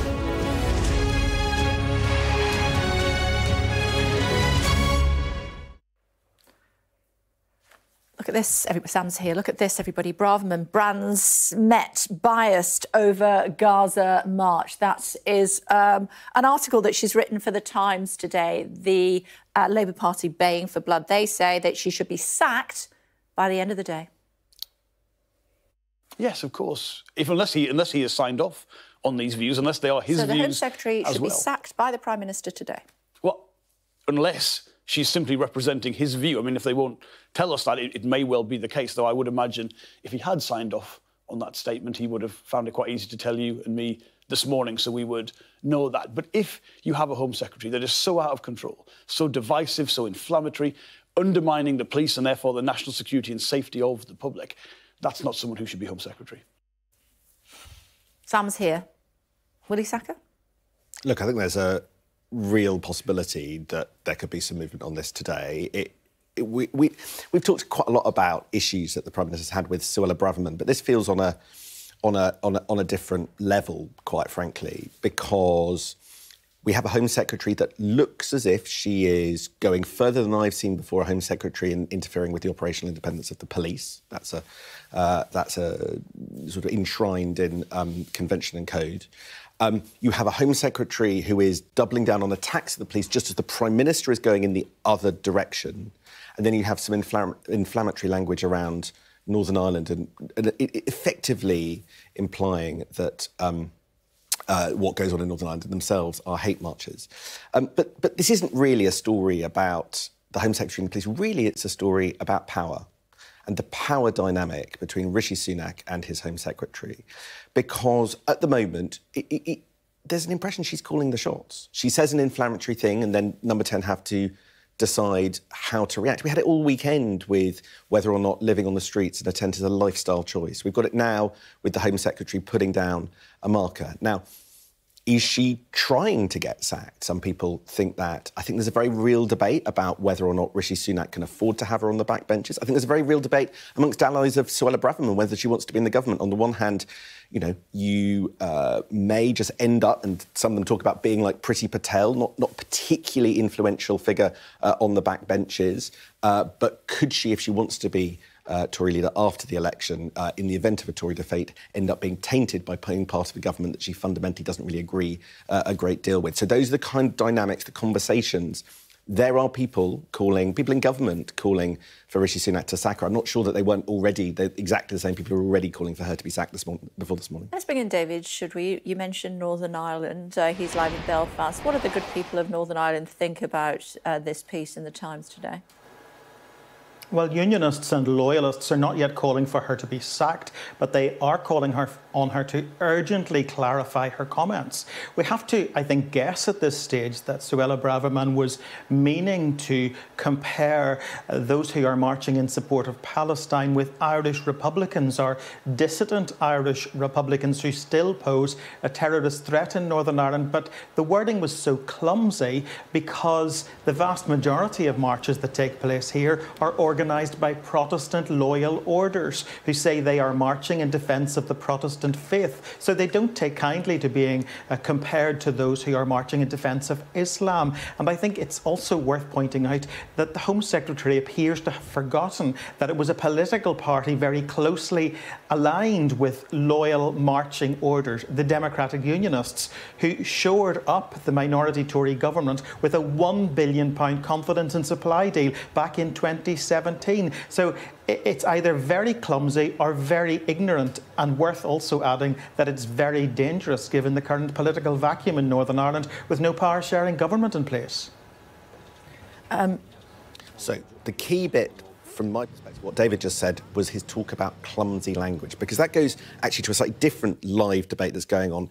Did number 10 look at it? Did number 10 sign it off? Did number 10 sign off exactly that clumsy language? Now, number 10 aren't saying, um, allies, wider allies of Suella Braverman are claiming that the Downing Street operation knew that this was coming and saw it before publication. We'll wait until both sides confirm that before we call that a fact. But for that kind of language that David was talking about to get through the system, uh, I think is, is, is pretty extraordinary and either speaks to a carelessness of the Home Office or perhaps even a carelessness of the uh, organisation as a whole. But really, this is a, a, a, battle of wills. Rishi Sunak has to, has to decide whether or not he wants Suella Braverman looking like he's uh, she's calling the shots, or whether he wants Suella Braverman on the back benches, potentially a martyr, or potentially not really much of anything, another former Home Secretary who grumbles uh, from the green benches behind him. That, that really is the choice today. Mm. It, does it feel like a pivotal moment where you are this morning, David? Well, I think it's certainly a very difficult moment for the Prime Minister, given that he's already struggling to see the power sharing government in Northern Ireland restored. The DUP are currently boycotting that in protest at post Brexit trading arrangements that trading border in the Irish Sea. The relationship between the DUP, the largest unionist party here, and the government has been cool for months now. This will do nothing to thaw that ice. And while we have that kind of political stalemate and that political vacuum here, there is a very real danger because it is still a fragile peace in Northern Ireland. Always worth reminding people that this is the only part of the United Kingdom where the terrorist threat is still deemed severe. And that's why language like Hamas and terrorism being spoken in the same breath as Northern Ireland and marches will be deemed by many not just as inflammatory, but showing blatant disregard for the sensitivities of the peace process. Labour wants to have gone by tea time. So. Yeah, I think they can see that this row is of a different order to the ones like that we had at the weekend. But the people to watch, Labour often call for Tories to, to go eventually. They're quite cautious with their language, they, though, generally. no, I was surprised. It, I, I, was just flying a kite and he went for it. He, he, he, did. They don't do it all the time, but it's not unheard of that the opposition calls for a, uh, a, a minister to go. But do you know where I'd look, Kay? I, I'd look back at the police. What do you think Mark Rowley is thinking this morning as he reads? Probably got his head in his hands. As he reads that the person who ultimately has the ministerial charge of the brief uh, for the police is calling the police effectively biased, is calling his force, is calling him uh, biased. How could he remain in his job? What conversations is he having with Downing Street this morning? And could that actually make a big difference? So, just to remind people, if they're just tuning our way, this is the article. Um, it's not. It's unfortunate the Prime Minister's wife is uh, just above it. I'm sure police must be even-handed with protests, is what Suella Braverman is saying. Page seven of the Times today. It's a comment piece. She says that the Met is playing favourites, uh, claiming that senior officers are biased, employing double standards towards pro Palestinian marches compared to right wing protests. Um, she also compared what she called hate marches to sectarian parades in Northern Ireland. We've heard from David uh, what uh, the view is on that one. Um, and she goes on to say, unfortunately, there's a perception that senior police officers play favourites when it comes to protesters. That's right. In the last few seconds, really, just communication with senior Tories, they're, they're, I can tell you, they're now looking very carefully at the more general reaction reaction of Tories and, and absolutely the reaction of the police. And I think I think there's a sense amongst some well, that it's the Irish Sea, uh, of course, but I think particularly uh, the Conservative Party. If I'm told, if this kicks off politically amongst Tories in particular, uh, that uh, some people think that uh, she's going to have to go. Well, goodness, uh, David, still with us. David, final thought from you. Um, political leaders in Northern Ireland likely to react? Uh, yes, well, I think, as I said earlier, Kay, this isn't just an own goal. It's a hat trick of own goals. It's not just displaying ignorance and offence, but it's also highly dangerous. If she was meaning to refer, for example, to the Catholic civil rights marches of the late 60s and 70s instead of Protestant loyal order marches, she's clearly forgotten Bloody Sunday when 14 innocent civilians were shot dead during a civil rights march in Derry. That's why this will be deemed very offensive and very difficult for people across Northern Ireland this morning. Final thoughts? Looking at her, looking at the scale of the reaction, does it mean that she can stay in the job? But there are also are Conservatives, not in the Home Office, looking as well at Mark Rowley and looking at what actually happens on Saturday. Because there is a real nervousness that the commander of the Met Police has got this wrong. Uh, and I, I think there's a complicated power dynamic. If something happens today, but then the march goes wrong on Saturday, where does that leave everybody? Uh, but if Mark Rowley made the right call and he's ended up in at loggerheads with the Home Secretary, uh, then that takes us to a very different place. It's not clear uh, what happens after that. I think it's a horrible mess in Downing Street. OK, Sam, for now, thank you. Labour calling for the Home Secretary to be sacked by tea time unless the Prime Minister signed off on her inflammatory uh, article, which is in the Times today. Continuing coverage on Sky.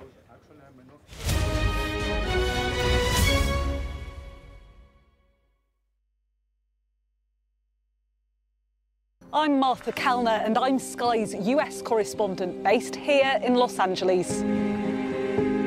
It's turning everybody into, you know, a crazy, violent drug addict. How are you feeling? I am angry. It is an anti-woman agenda. Two women say that you paid for their abortions. Are you a hypocrite, sir? Will your candidates win? I hope so. I think they will. I think they're great candidates. I gotta be realistic.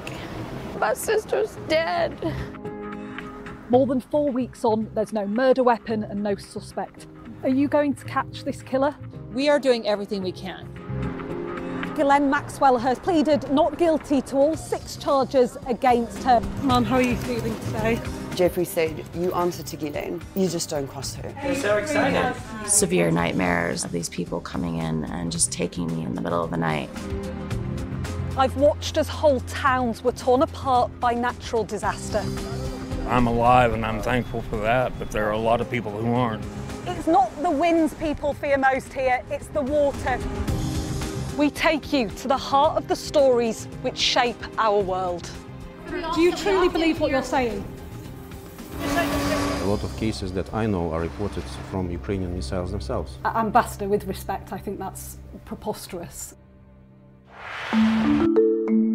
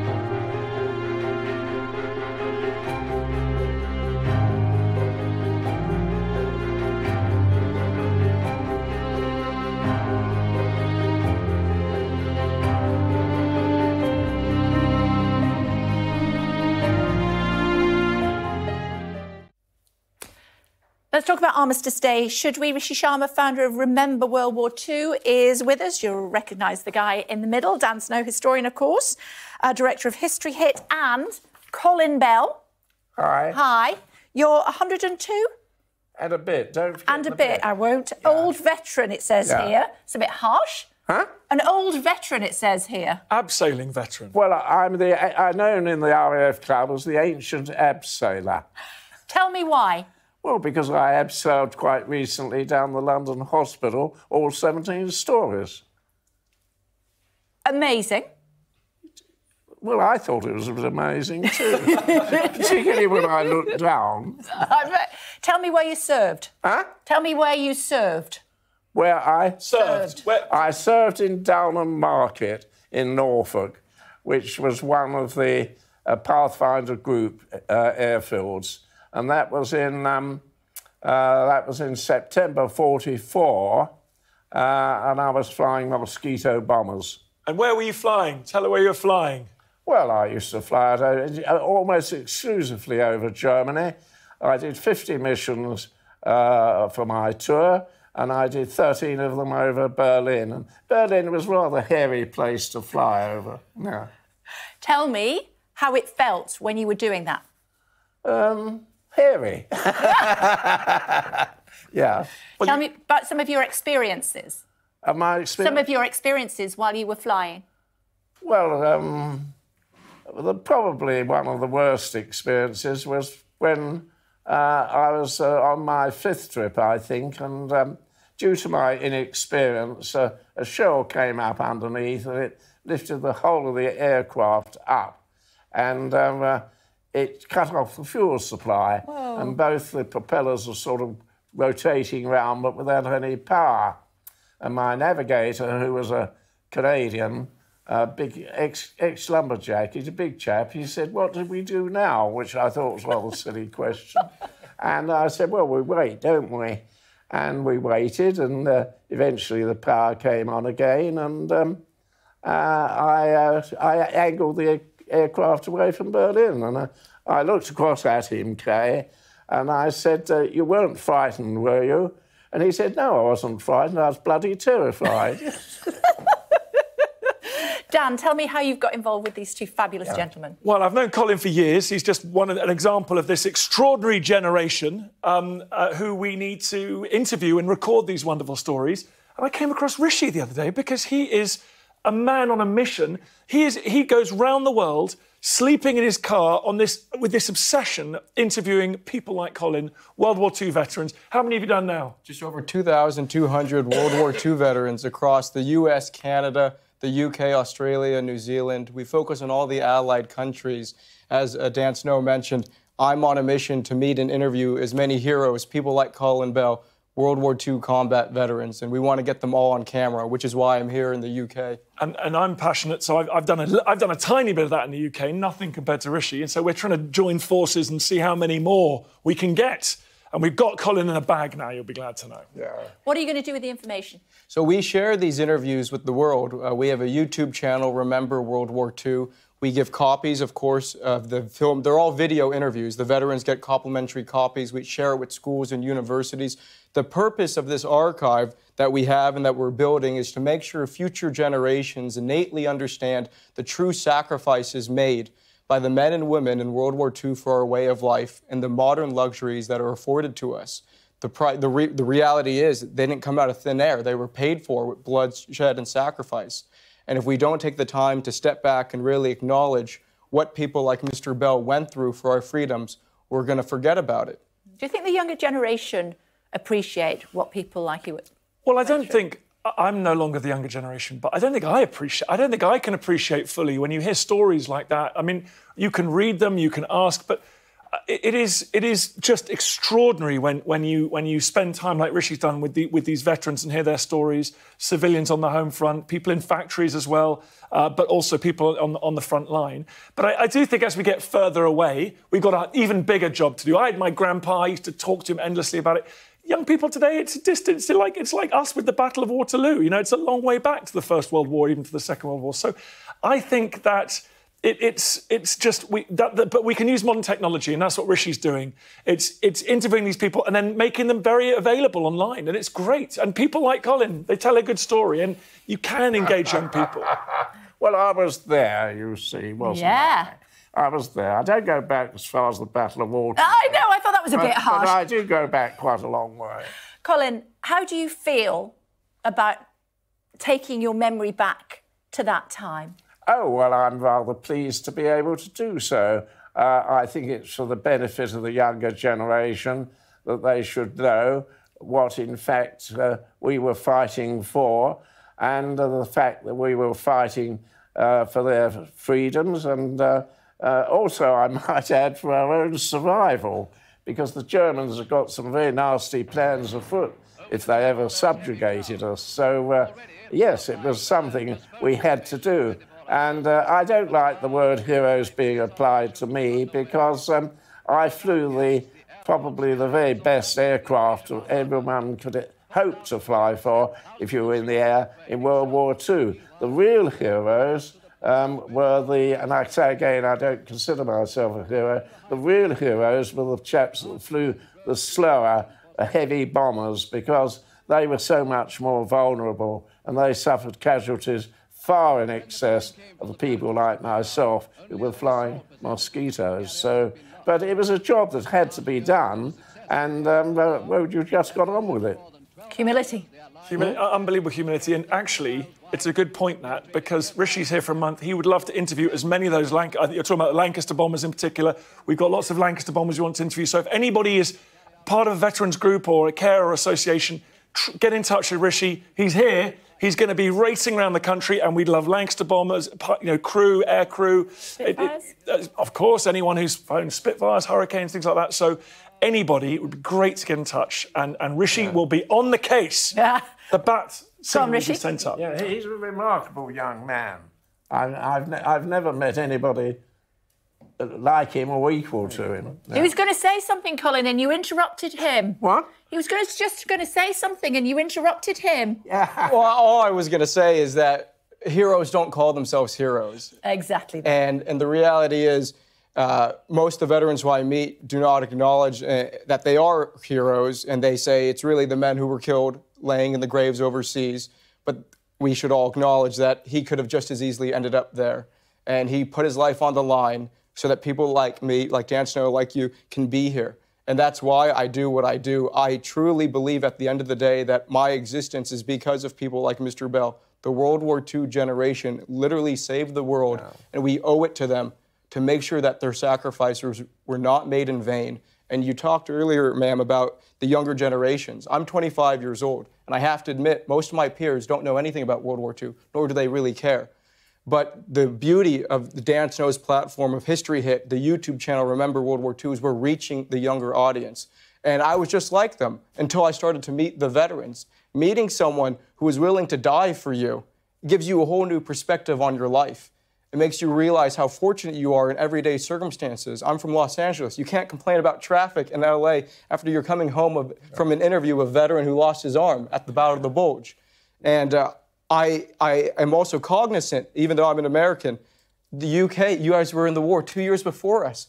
You in the Commonwealth, it is so important that an American audience understands what the British people went through. And I want to be able to interview as many World War II veterans here in the UK. And I would encourage people, if they know any World War II veterans, co- please go to rememberworldwar2.org. And he, he's too polite to say so, but he is sleeping in his car. So if anyone wants to look up GoFundMe, you can give him a fiver and maybe you have a hotel for the night as well. yeah, I mean, it's, it, it's, it's a good point in the sense that Remember World War II is a nonprofit organization. Yeah. All the money that's donated goes directly into the travel and production of getting these heroes on camera. Uh, I don't take a salary. For seven years, I've not taken a salary. I started this when I was in high school. And it's not about me, but the only way I've been able to afford the travel and to do so many interviews is to cut costs. As he mentioned, I sleep in the car, I'll skip meals, but it doesn't matter because when you get to sit in front of someone and look them in their eyes, someone who is willing to go overseas to fight the good fight, it makes it all worth it. And to know that their great, great, great grandkids will always get to know them. Yeah. Well, Tell me about Armistice Day and how important it is to you. Well, it's terribly important because it's a time of reflection of all those people that lost their lives fighting for our freedom, and it's something that, um, uh, well, it, it creates emotions. I mean, uh, all World War One people, as well as World War Two, um, it's a time for reflection and respect, isn't it?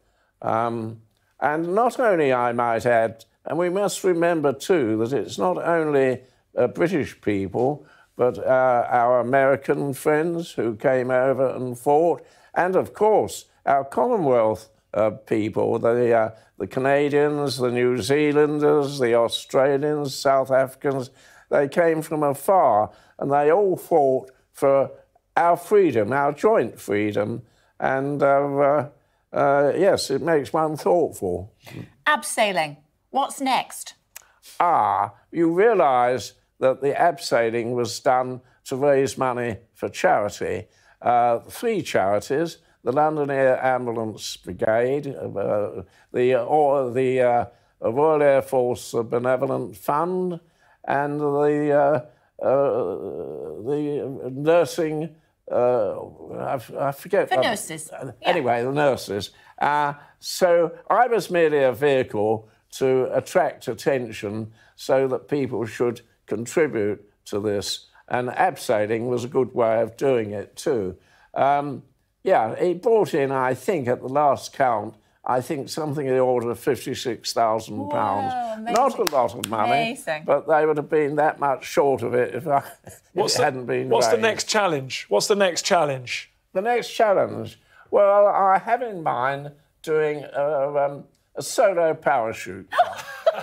and and um, uh, I'm not going to do one of these things where you're strapped to uh, experienced parachutist. I think a lady in Chicago has Oh, done can that. I implore you to do and that, all, please? all the credit to her at the age of 84. Yeah. But if I do it, I'm going to do it solo. Okay. Colin, Dan, Rishi, we are out of time. Thank you so much for taking the time to join us. Thank That's you. all right. Lovely to meet Appreciate it. you. That's a strong handshake right there. Yeah. We'll see you in just a second here on Sky.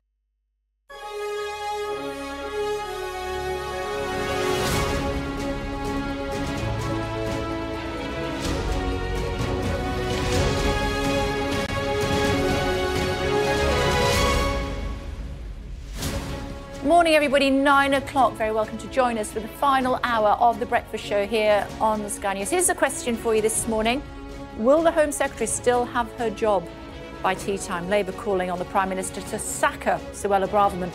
They say she should be dismissed after accusing the police of playing favourites with protesters, unless, of course, he signed off on those comments. Thursday, 9th of November. A government source brands the Home Secretary ignorant after she says hate marches are what we are more used to seeing in Northern Ireland. A strong response from Labour and a former Chief Superintendent. Please answer me honestly. Should the Prime Minister sack her? Yes, of course. If unless he unless he has signed off on these views. And so some of the things that Suella Braverman is saying as a as a, a, a brown woman um, would would not be tolerated if it was said by a white man, a white woman. Poll for Sky News finds half of Britons think Saturday's Armistice Day march by pro-Palestinian protesters should be banned. Here in Jerusalem, there are reports of a possible three day ceasefire in exchange for the release of hostages. Also ahead, the government orders an independent inquiry into the deaths of 27 people in the English Channel in 2021. Making tech safer, Ofcom unveils new rules to protect children online. The end of panda diplomacy. Three of the giant bears on loan from China to the US are shipped home. And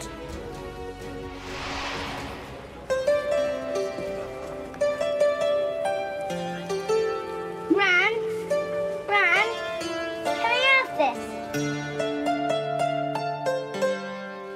it's the John Lewis ad. It must be nearly Christmas.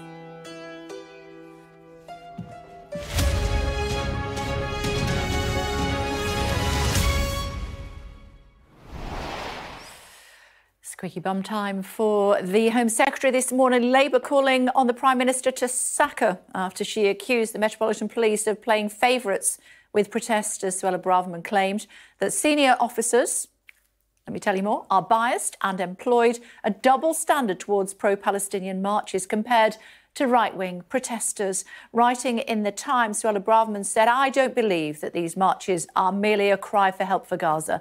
They are an assertion of primacy by certain groups, particularly Islamists of the kind we are more used to seeing in Northern Ireland.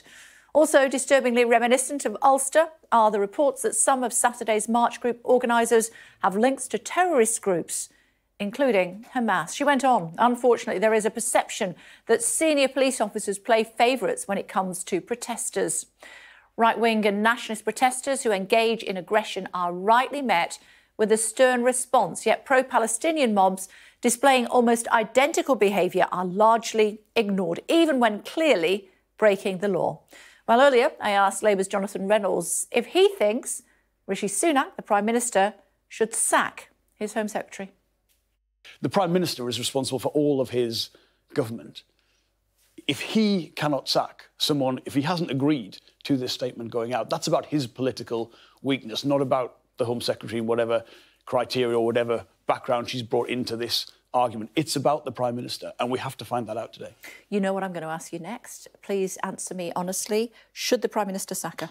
Yes, of course. If unless he unless he has signed off on these views, unless they are his so the views Home Secretary should well. be sacked by the Prime Minister today.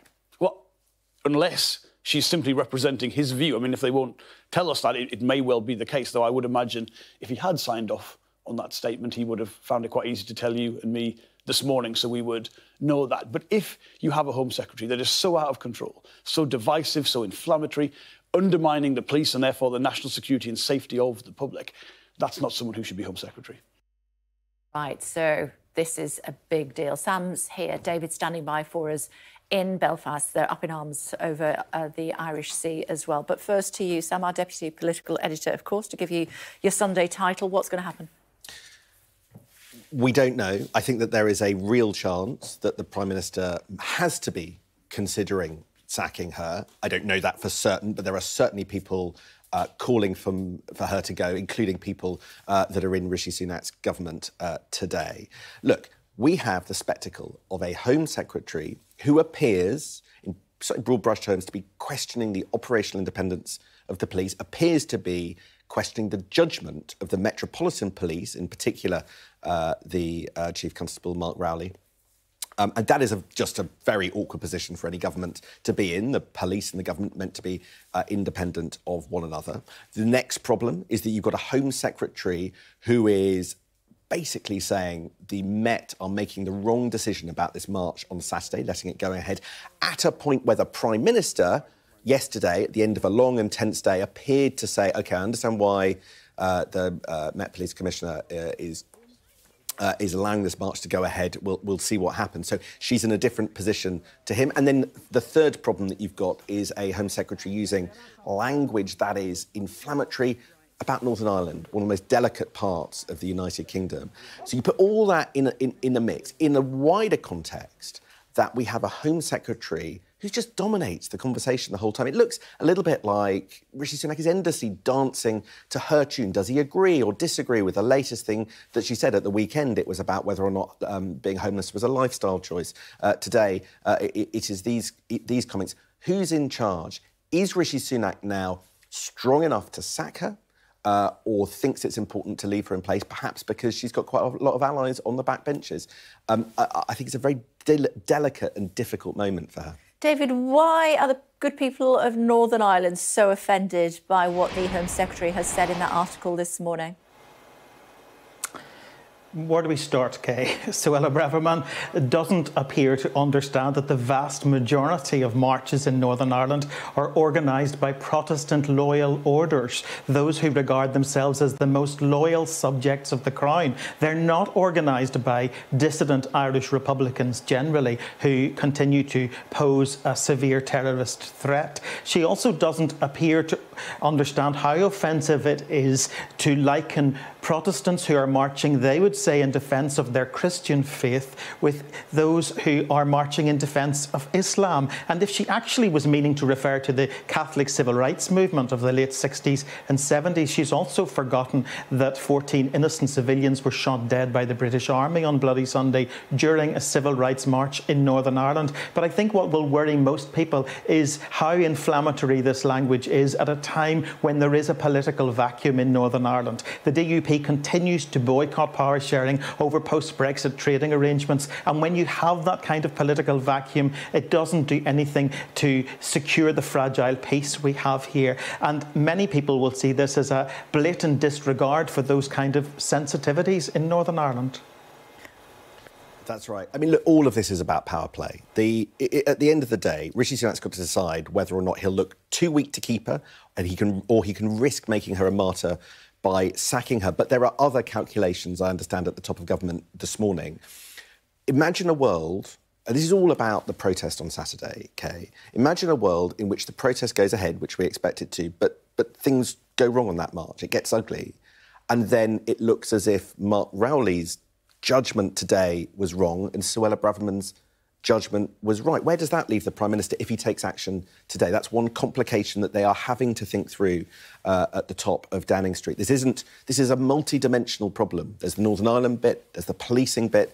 Uh, there's the internal Tory power struggle bit. That, that, it's 3D chess for Rishi Sunak. Uh, it's not quite clear where we're going to end up today. But it's a problem of the Home Secretary's making for him, and that is, you know, when when you peel away all those layers of the onion, that's the issue. And, and it's it, not, not, for the first time. Not for the first time. Gentlemen, I know you're going to join me again later on. For now, thanks very much indeed. So, a senior government source telling Sky News that Ms Braverman's comments are wholly offensive and ignorant of where people in Northern Ireland stand on the issues of Israel and Gaza. We also spoke to a former uh, police officer from the Met earlier, and this is what he had to say. So some of the things that Suella Braverman is saying has a as a, a, a brown woman um, would would not be tolerated if it was said by a white man, a white woman. You know, some of the things she said about uh, Pakistani men, some of the things she's saying about hate marches. Uh, you know, I, I'm I'm just flabbergasted by some of the conversations and some of the comments that she's making. I hope we take the heat out of this. I hope we listen to what Sir Mark Rowley says, who's a, a police officer with extraordinary levels of uh, experience, and, and we let the police get, to get on with what they're doing, which is um, policing and making London safe. Uh, we shouldn't be making the job of the police more difficult. Uh, what are the British public think? Well, yeah, we've asked them, okay, 2,000 people, uh, YouGov doing a survey for Sky News. And, you know, all this, everything you've been talking about, all this controversy today, when it comes down to that basic question where all this started is, do you think this march should be allowed to go ahead on Armistice Day on uh, Saturday? Uh, we asked the public half of all Britons think that march should be banned. 34% of people think it should go ahead. But, you know, that is a huge amount of support when it's put that starkly in terms of whether that march should happen. So actually the public tending to agree with Suella Braverman's basic position, if not the sort of rhetoric we've heard about today, because that's very new and we haven't asked them about that. Um, and that's really sort of where we've seen the most sort of clear agreement on one issue. The rest of this in the Israel-Hamas war, the British public very divided. It might have felt very divisive over the last sort of four weeks. And that is reflected in the polling. If you ask people which side do you agree with more in this conflict, Israel and Palestine have been fairly equal. Palestine, the Palestinian side there in green at the bottom has just edged ahead, but they've both been around 20% for uh, most of it. It's very, very entrenched. What has changed is people have gone going from not knowing about the conflict before the attacks uh, on October the 7th to sympathising with both sides equally. That is the majority British position.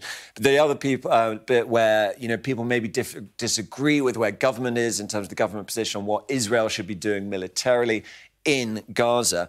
The government position being uh, that they should be a temporary ceasefire, and that's Labour's position. But actually, the UK public, 31% of people, the most uh, popular option here, they oppose Israel's actions. They push for them to call a ceasefire. And with all this data, there's a lot of drilling down you can do. You know, support for the Israeli side tends to be among conservative voters, older voters. Uh, for the Palestinian side, it's younger voters of support for a ceasefire. Labour voters, a long way away from uh, where Keir Starmer is, a lot more of them support a, a proper ceasefire rather than a humanitarian pause uh, than is being endorsed by their leader at the moment. So that could lead to more tension. But yeah, it does just show this is such a divisive topic. Sure is. Thanks very much indeed, Tom. How likely is uh, a ceasefire? Cordelia standing by in Jerusalem for us. What is the latest, Cordelia? Good morning. Good morning, Kay. There are reports of discussions between uh, of a possible three day ceasefire, which would enable critical humanitarian aid to get through to Gaza. The death toll, according to the Gaza Health Ministry, has reached 10,500. Now, the suggestion is that there's possibly talks around a dozen hostages, including uh, foreign passport holders, being released uh, in exchange uh, for a pause uh, in Israeli airstrikes there in Gaza. Now, this is all about trust building, and there's not a lot of trust on either side right now. But we know, Kay, that the Qataris have been central in negotiations trying to uh, broker possible uh, cessation uh, in fighting. We will have to see where this goes uh, in the coming days. Okay, for now, thank you, Mark. Actually, in southern Israel as well for us this morning. Uh, Rafah border, I believe, still closed today. Some sort of incident. What do we know, Mark? No, no incident, Kay. Uh, the, border, the, border, is open, uh, and, and, actually, it's a very interesting insight. We are uh, on the um, uh, the border between Israel and Egypt. Nitzana, it's called, uh, and it is one of the border crossings through which aid is uh, supposed to be coming through. You can see here some of the trucks. These are Egyptian trucks. You can see the Egyptian plates on them here. all of these trucks are filled with humanitarian aid. on this one, I can see baby products from Indonesia.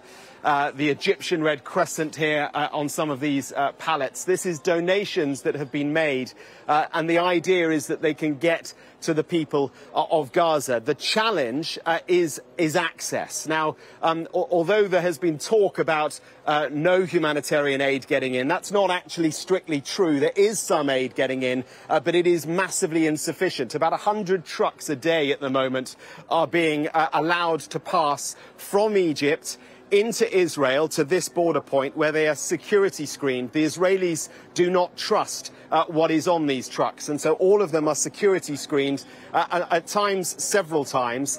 They then pass back into Egypt and drive up the, the border, a straight line, uh, up to the Rafah crossing in Egypt. The Israelis uh, say they have eyes on them the whole time, so I imagine that's from drones which are looking at these trucks, which have then been screened.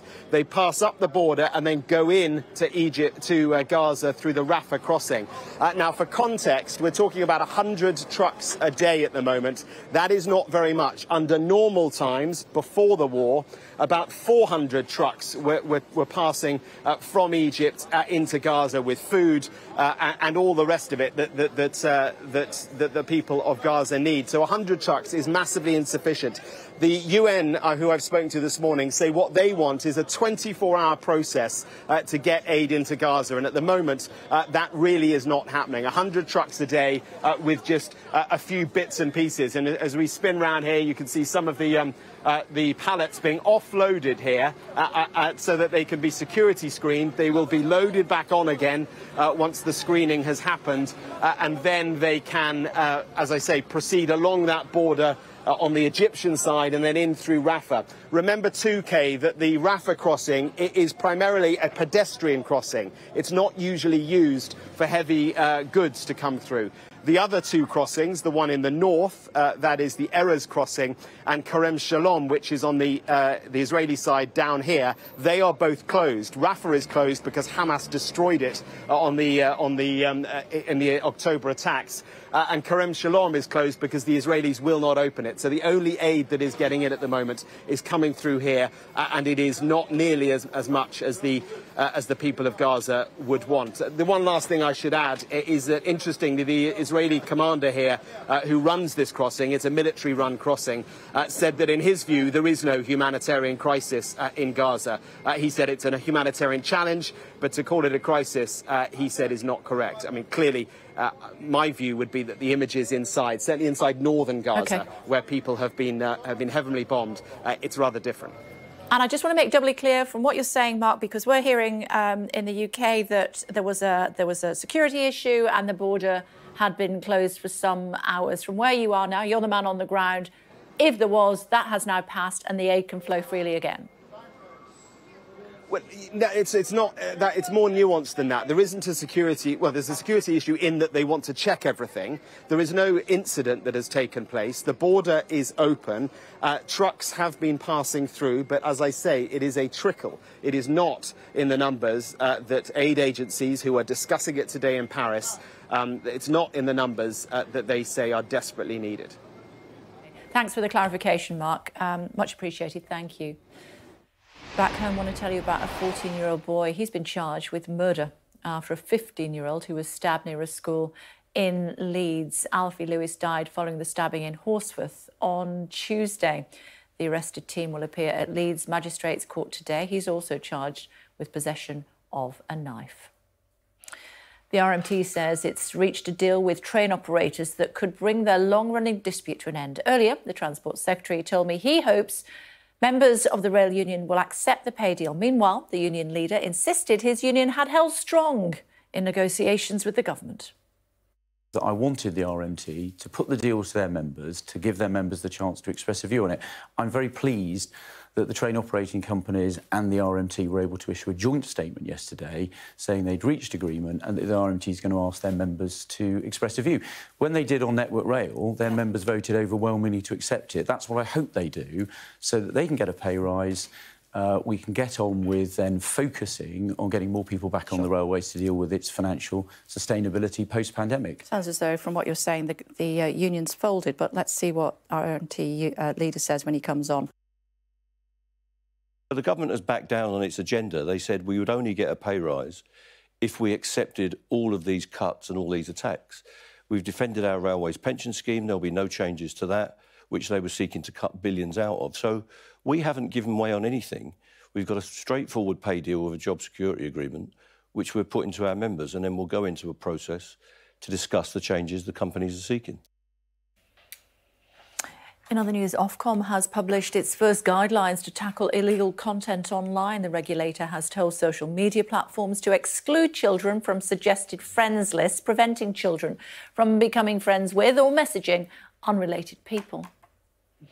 US Actors Union has agreed to what it says is a tentative deal with Hollywood studios bosses to end its 118 day strike. The dispute has delayed films including Disney's Lilo and Stitch and the latest Paddington movie and blood tests to help detect early Alzheimer's could be available on the NHS in the next five years. The UK's leading dementia charities are funding a £5 million study to help bring tests into clinical use. Scientists say it would be cheaper than current methods and enable patients to get diagnosed sooner. Still to come, Israel continues to push on in Gaza. We speak to a former defence attache. Plus, stopping stranger danger online and the new rules to tackle illegal content. And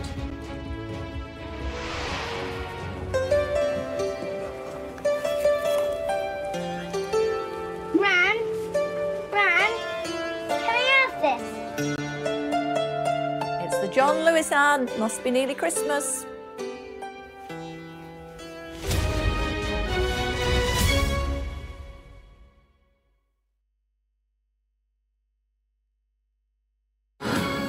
Morning, everybody. It is 8 o'clock. You're very welcome to join us on Sky News wherever you're watching us. Chancellor will be joining us in just a few moments' time.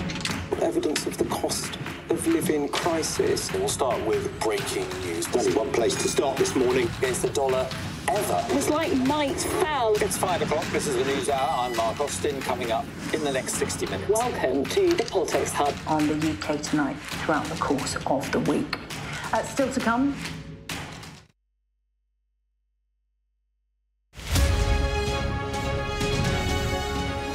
Well, I mean, this has been an issue um, for some time, um, and it always gets worse around winter, which is the, classically the time that every year NHS services are under a lot more pressure.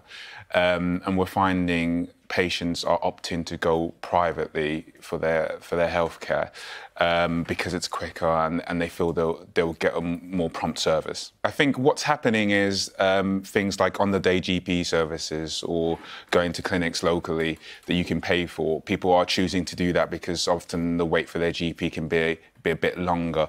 Um, I think that it does free up appointments probably, but I think what would be better if we had a, a inclusive NHS system where everyone could be seen in time. We, you, we, in my practice, we have a triage system, so often the most serious people get seen on the day or quicker if um, within the hour if we feel that they need to be seen. Um, for the more routine things, that's where people tend to struggle a little bit more. So um, it could be two weeks before they see a routine. Wow. Yeah, and that's a problem, which is why you're often seeing the routine things going to the private sector. And it's really important that people actually, if they're in the vulnerable groups, get the COVID and the flu vaccines.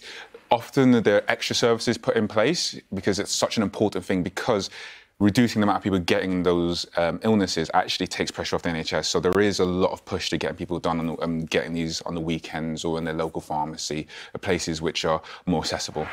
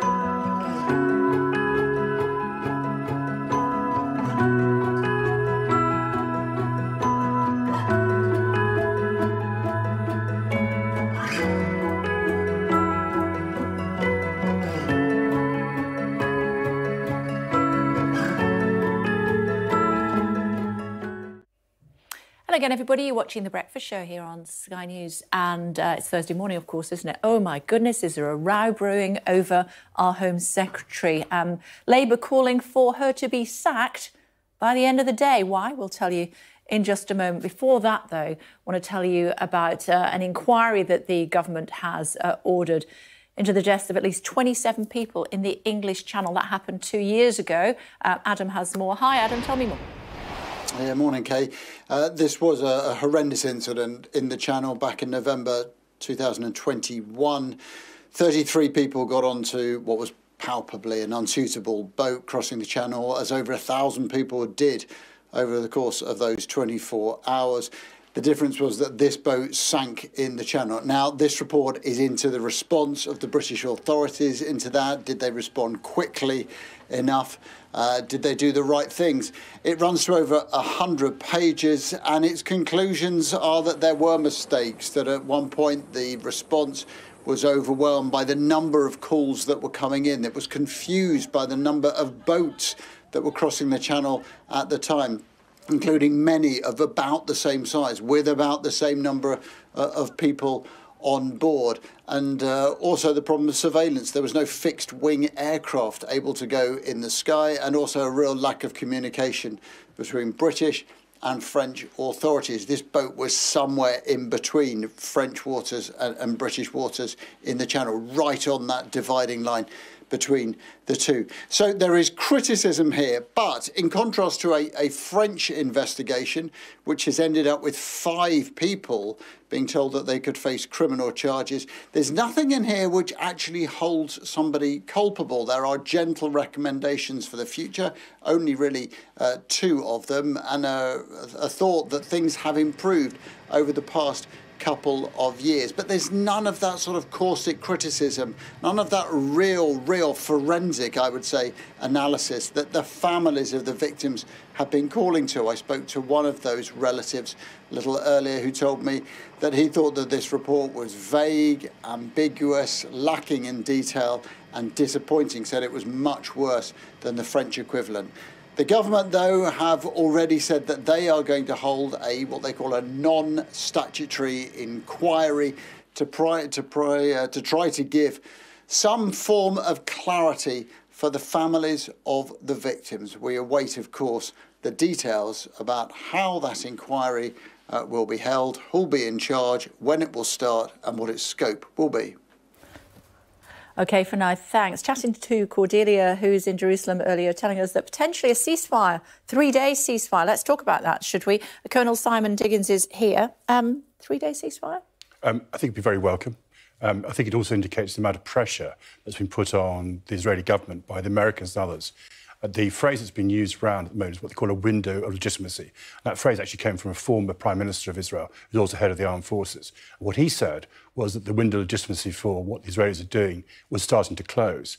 Uh, and so I think what has finally got through to Netanyahu is that that, that moment is, is fast approaching. And the balance between rightly eliminating Hamas but also not imposing a massive burden on the Palestinian people is, is probably that balance is starting to shift in people's minds. Okay, um, ceasefire, pause, whatever phraseology you use, um, we are being told by Israel that would allow Hamas to refuel, restock.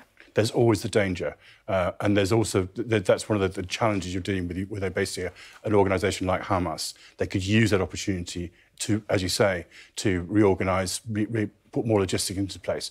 And the balance between that is, again, is the humanitarian effort that goes with it. So it's, a, it's, a, it's not an easy balance to make for commanders. But I think if Israel's looking at you know, what's its long-term solution, what's the long term, and in terms of maintaining legitimacy and worldwide support for what they're doing, they may have to accept the, if you like, the burden or the friction of allowing the, the, the Hamas to refuel, rearm against the greater gain of showing a sort of humanitarian uh, imperative as well. Some reports of, of um, elite troops um, being trained in Lebanon to go into Gaza and extract British hostages. How complex and difficult would that be? I think that'd be extremely complex and a very difficult operation to to do. Um, the, the, we have troops who are well trained. We know that, um, and they obviously whether they have the opportunity to train in in in conditions similar to the ones going to Gaza. Uh, I, I, don't, I don't have any sort of details uh, on that, but it would be normal to do some very detailed training prior to a very high risk operation like that. Mm. Uh, what are some of the dangers? that they might face? Well, the danger is who are they and who are they recognise and will they be accepted? So is this going under some sort of benign conditions where they've been told they can go and actually get them out or where they regard as just another enemy force? Uh, if they've got an enemy, an, enemy force, and if they're killed or they're captured, worse still captured, the situation could be could be even worse. So that's a that's a, these are high risk operations, and I mean uh, by the sound of it, it would be very high risk, very sort of high, highly trained troops doing it. But there's a very high level of risk involved as well. We've heard a lot of rhetoric uh, from the Israelis, particularly the Prime Minister, over the last few days. He wants to obliterate Hamas, uh, or words to that effect. He's used a lot of very strong words over the last few days. We've just heard um, our man um, on the Rafah border telling us that uh, an Israeli defence force uh, soldier there um, saying that it's not a humanitarian crisis in Gaza. I think we have to listen to the UN. I know that people are, are, wary about the UN. I've worked with the UN three times. They, generally speaking, do not exaggerate, particularly as they've had long experience dealing with, with crises. What we do know is that at the moment, and your reporter had that covered, that something like only a quarter of the normal supplies are getting through to, to them. Bear in mind that the infrastructure is badly damaged there, which means the normal distribution, which could just be an ordinary shop, won't necessarily be able to get. So it's not even just a matter of how much stuff gets in there, it's actually can it get to people at the right time, the right place. People are on the move. They talked about some 50,000 people moving out yesterday from, uh, from Gaza going further south. You know, how are they being received? Where are the reception centres? How are they getting fed, watered, looked after, the injured looked after? These are very complex and very difficult logistic operations at the best of times. Do it in the middle of the war when there's fighting still going on, and the Israelis are also bombing south of the Wadi Gaza, which is the so-called, the so-called protected area, uh, then that make, I think makes that very, very difficult. So, I mean, it's very hard from a distance to say whether it is a crisis or a challenge. And I think the Israeli commander suggested it was a challenge rather than, uh, rather than a crisis. Mm. But the UN is telling a different picture. And I said, my experience of the UN is they, don't, they tend not to exaggerate. Um, two-state solution. That's what uh, a former UK ambassador to Lebanon was saying yeah. this morning is the only option. I've been doing this job a long time. I've heard that uh, said many, many times in the past. Uh, we've been close to it yeah. Previously. How far away or close to we are uh, at the moment? I think at the moment, the two things that could, if you like, the dynamic could work in both ways. One, this is a huge crisis and it's made people refocus again on the two state solution. Um, and I think that the accusation that's been laid against the Israeli governments since really 2005, 2007, uh, when they withdrew from Gaza, the, the settlements from Gaza, is the, the two state solution has been ignored. In fact, not just made ignored, but actually made worse. And there's a sort of divide and conquer going on between Hamas in Gaza and Fatah in, in, in the West Bank. So I think it's a long way away from, from that. But it is probably the only solution which actually gives some kind of homeland to the Palestinian people as well. And whether we can get that out of, out of this crisis uh, will be hard to tell. But there's, okay. there's a lot of damage as well. Colonel, thanks very much indeed. Thank you. Much appreciated. Um, just want to uh, correct something uh, that we said a little bit earlier on, our correspondent chatting to her in Jerusalem.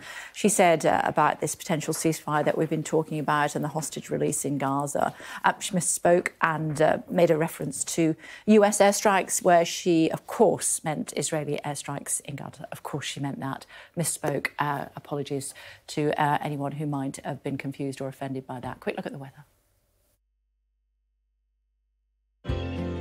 Warm memories wherever you go. the weather, sponsored by Qatar Airways. Sunshine, showers, turning dry into the weekend. Expect more rain on Sunday. Quite chilly now, windy with heavy showers in the west, far southeast, but much of the east is fine. There'll be sunny spells and further showers this morning with thundery downpours likely.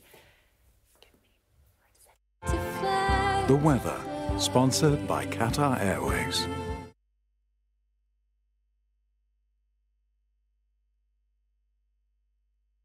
Labour smelling blood. And we're going to find out what's going to happen in the Commons in just a few minutes. Suella Braverman's future on the line. A minister's about to speak. Stay tuned.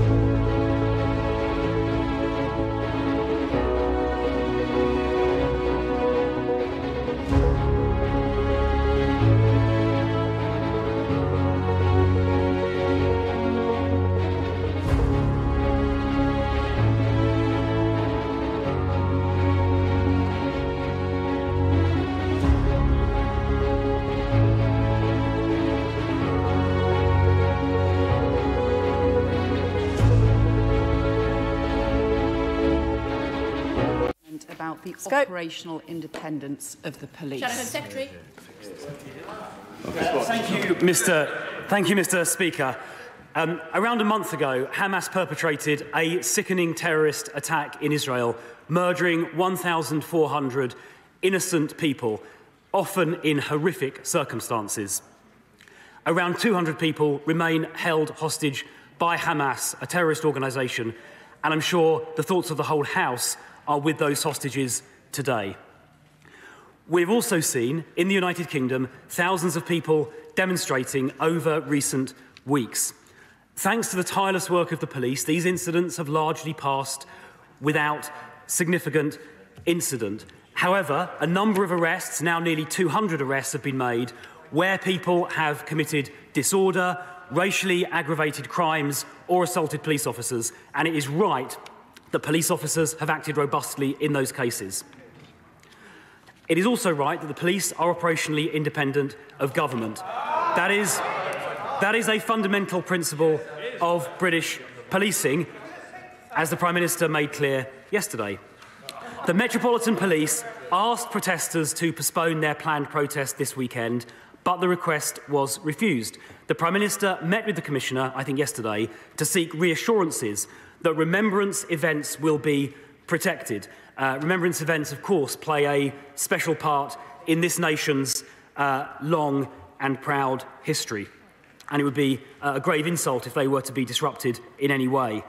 It is for the Metropolitan Police to decide whether to apply to the Home Secretary to ban any such march. Uh, as of this morning, no such application has been received, but the Home Secretary will, of course, carefully consider one should it be made.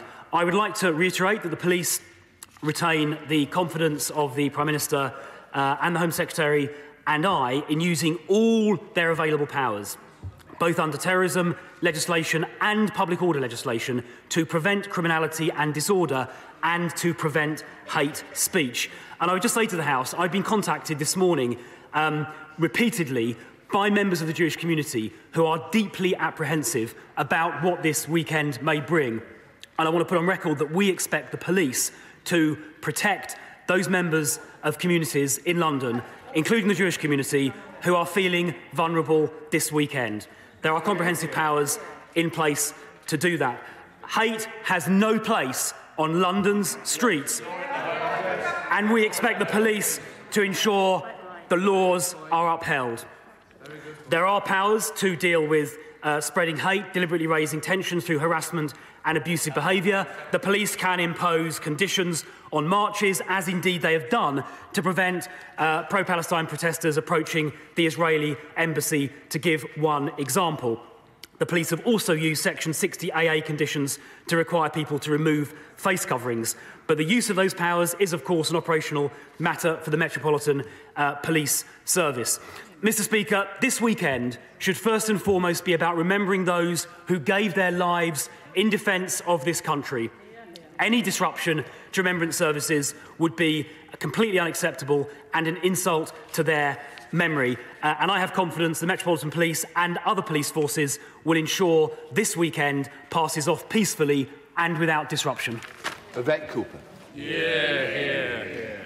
Thank you, Mr. Speaker. Well, where is the Home Secretary? Sent the policing minister to come to refuse to repeat her words, because we've seen her words this morning, attempting to rip up the operational independence of the police, attacking their impartiality in the crudest and most partisan of ways, deliberately undermining respect for the police at a sensitive time when they have an important job to do, deliberately seeking to create division around remembrance, which the policing minister rightly said should be a time for communities to come together and to pay our respects. And she is deliberately inflaming community tensions in the most dangerous of ways. She is encouraging extremists on all sides, attacking the police when she should be backing them. It is highly irresponsible and dangerous, and no other Home Secretary would ever have done this. Mr Speaker, remembrance events are really important to all of us. Those events need to be protected. That is the job of the police, to enforce, to respect the law, maintaining public safety, tackling hate crime and extremism, and respecting rights in law to peaceful protest. And they have to follow the law and the evidence, whatever politicians think, not be the operational arm of the Home Secretary. Because whether she likes it or not, that is the British tradition of policing, and I, for one, am proud of it. Yeah, we know what she's up to. Claiming homelessness is a lifestyle choice, picking fights with the police to get headlines. But the job of the Home Secretary is to keep the public safe, not run an endless Tory leadership campaign. Cabinet colleagues refusing to agree with her, former police chiefs lining up to condemn her. So, two questions. Does this government still believe in the operation independence of the police and how can it do so while this Home Secretary is in post? And did the Prime Minister and number 10 agree to the content of this article because either the Prime Minister has endorsed this or he's too weak to sack her. And if he can't get rid of her, get a grip of her conduct, it means he's given up on serious government and he and the Home Secretary should both let someone else do the job. Yeah. Well, I thank the Shadow Home Secretary for her questions, as always.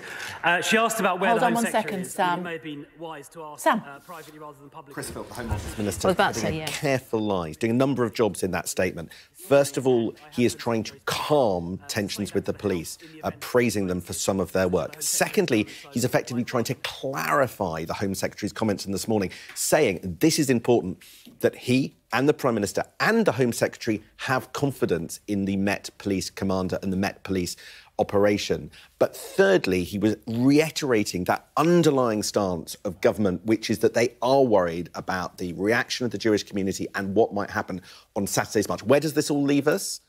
Well, we could see the Prime Minister taking action against Suella Braverman later today. But on the basis of that statement, it looks to me at the moment, on the balance of probabilities, I'm not nailing my colours to the mast, that this government wants to see if they can find a way through because they are worried that if Saturday's march gets ugly and he had sacked Suella Braverman and then she looks right and the Prime Minister looks wrong, where does that leave him? Great question. Very, very, very difficult situation for the PM today. I know you're going to monitor it throughout the day. For now, Sam, thanks so much indeed. While uh, Sam and others are digesting that, have a think about on this one. Ofcom has published its first guidelines to tackling illegal content online. The regulator has told social media platforms to exclude children from suggested friends lists, preventing children from becoming friends with or messaging unrelated people. Uh, should we talk about it um, in a little bit more detail with Melanie Dawes, Chief Exec of Ofcom? Hi, it's good to see you. And you we talked Kay. about this in some detail, as I remember, what, three years ago. Mm-hmm. Uh, and at the time, we talked about online cruelty. Uh, can, uh, according to a Facebook whistleblower, online cruelty can be the last thing a child sees before they go to bed at night and the first thing they see when they wake up in the morning. Three years later, how far have we come? Well, I think today is quite an important day because we now have regulation in place, and that's what our Parliament passed a couple of weeks ago. And today, the regulator, that's Ofcom, has come out with a blueprint, really, of what the social media and search companies need to do to protect us and keep us safer online. So the industry can now see our expectations, and I'm calling on them to work with us, give us feedback on our proposals, but also to start to make the changes because what we're proposing is very practical. As you say, it's stuff like making sure that kids can't be contacted by adults who might wish them harm. It's things like that. And I think the public is very much now on the side of seeing change. That whistleblower went on to say, Frances Haugen went on to say that organisations like Facebook um, unwilling to accept even a little sliver of profit being sacrificed to make its platform safer. What are you going to do about it? Well, fundamentally, the law has now changed, so they are required to But the uh, fine is something have a duty 18 of care. quid, is it? Something like No, we can charge some pretty hefty fines if we get to that place. Um, and I think that has changed now with the law because, as you say, up until now there hasn't been regulation, and there hasn't been regulation really anywhere in the world. Um, it's only just starting, and the UK's ahead here. Um, and what that means is that it's only been about commercial profit. It's been about things like keeping us all online as much as possible to drive those advertising revenues. And now the law has changed, and there is a duty of care, and that is a legal requirement. So it's Ofcom's job to set out what that means in practice and to hold the companies to account. And that's what we're going to do. So, what are the punishments? Well, um, fundamentally, um, if we see companies, and I don't want to go there today, um, I want to give everyone a chance to come and work with us, but I'm sure there will be some who don't want to do that. And we can fine them um, up to 10% of their global turnover. So it's a pretty serious amount of money. And fundamentally, if we think there are really serious risks to the public, we can actually get companies blocked so that they can't be visible to uh, the British public. So I'm confident we've got all the right tools we okay. need, and we start so today. We've come quite a long earnest. way in those three. We've years. come a very long way. Okay. Yeah. Um, why is it taking so long? Well, this is a really big set of laws, and our Parliament has debated them, you know, in some detail, and I respect that. But what Ofcom's been doing during that time is getting ready. So only two weeks after the laws were passed, the moment Parliament was back this week, we've come straight out with a really comprehensive um, set of proposals. So we're managing to catch the time up now, I think, and you know, we are very committed to moving this as fast as we possibly can. But it's a lot to get through but we've got the expertise, we've got the people, and there's a determination in Ofcom to really make a difference here. So these companies are on notice now. How long are they you going to give them? Well, what we're asking them, first of all, is um, what, what, we're doing actually with the biggest companies straight away, we've started this already, um, is to put them into what we're calling our supervision programme. And that means that we'll start to use our legal powers to request information from them uh, straight away uh, so we can find out what's really going on under the bonnet. Because we've had some good engagement and we know quite a lot of things, but what we don't know is everything and the real facts of where they've got to. So we'll be doing that straight away. And then while these proposals go out for consultation and we get the views back during that period, I'm hoping we'll see some changes, you know, coming in quicker. But once the things, once once our proposals today have actually gone into law properly in another year or so's time, at that point we'll be able to start to launch investigations and take people through tougher processes if that's what we think they need to do. Today's a good day? It is a good day, yeah, but it's a long journey ahead and it's a big task for Ofcom and we're very aware of that. I mean, in the end, you know, we're doing this and our Parliament has decided to do this because, you know, there's a lot of harm going on on social media and we've talked about that before, Kay. We have. Um, and we've talked about how women are more likely to experience, you know, sort of personal abuse than others online. And today we're really focusing actually on the risks to children. We know that a third of teenagers have had an unwanted friend or follower request in the last month. We know that one in six kids have actually been sent an image of someone half dressed or naked or been asked for one in return. So this is not okay. And what we're doing today is setting out quite practical steps that we think will begin to address some of this, although there are no silver bullets here, but we know we can make some improvements. Okay, Melanie Dawes, Chief Exec of Ofcom, thanks very much. Thank Appreciate you. it, thank you. Still to come on the, bear with me one second if you would please, Melanie. Still to come on the programme for you. They hope to fly the World War II fighter plane around the world in four months. We speak to a pilot about his attempt to circumnavigate Earth in an old Spitfire.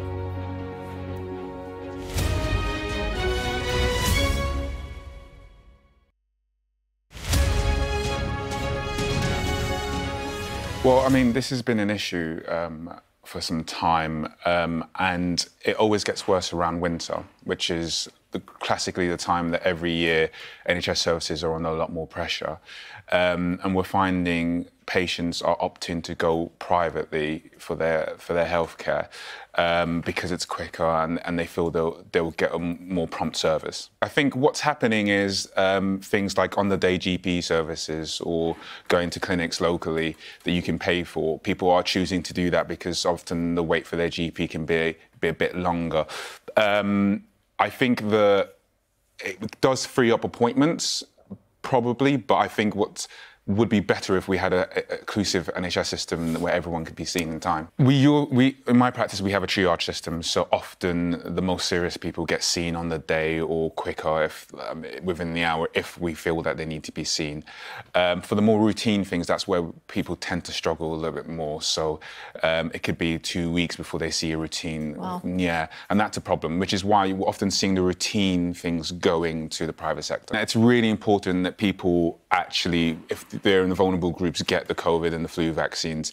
Often there are extra services put in place because it's such an important thing because reducing the amount of people getting those um, illnesses actually takes pressure off the NHS. So there is a lot of push to get people done and um, getting these on the weekends or in their local pharmacy, places which are more accessible.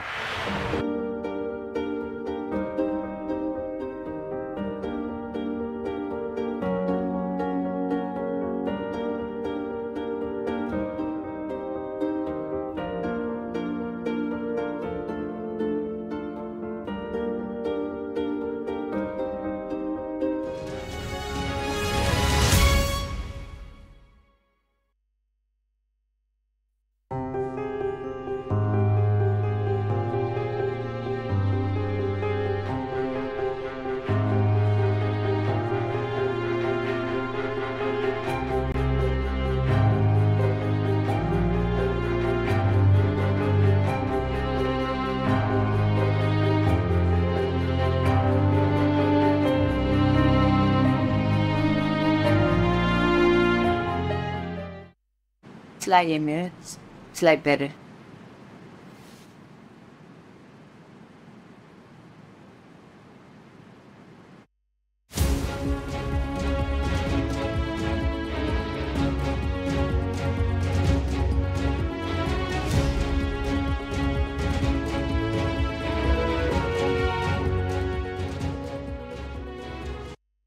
Fly Emirates. Fly better.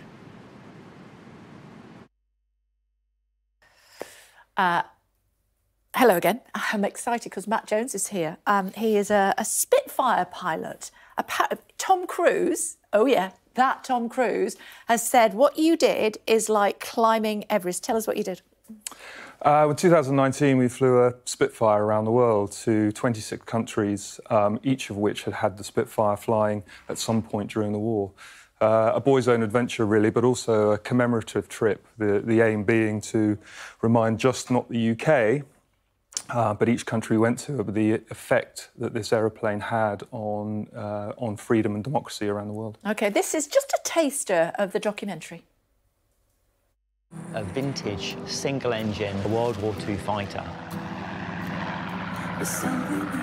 Having to avoid the fog, the icing. This is challenging flying. I think we need to do something that no one has done before. Our mission is to fly that aeroplane around the world.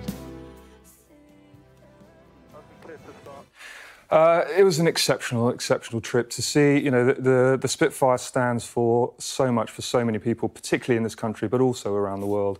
And to take that aeroplane and fly it low level in great conditions uh, and to see the world over the wing of this aeroplane was just the most exceptional, exceptional experience. What were the challenges?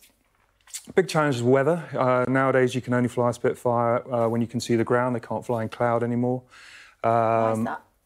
Uh, just because of the way they're certified these days. It, back in the times of war, that wasn't a problem, obviously, no. but now they're thinking safety a lot more. So we're not allowed to do that.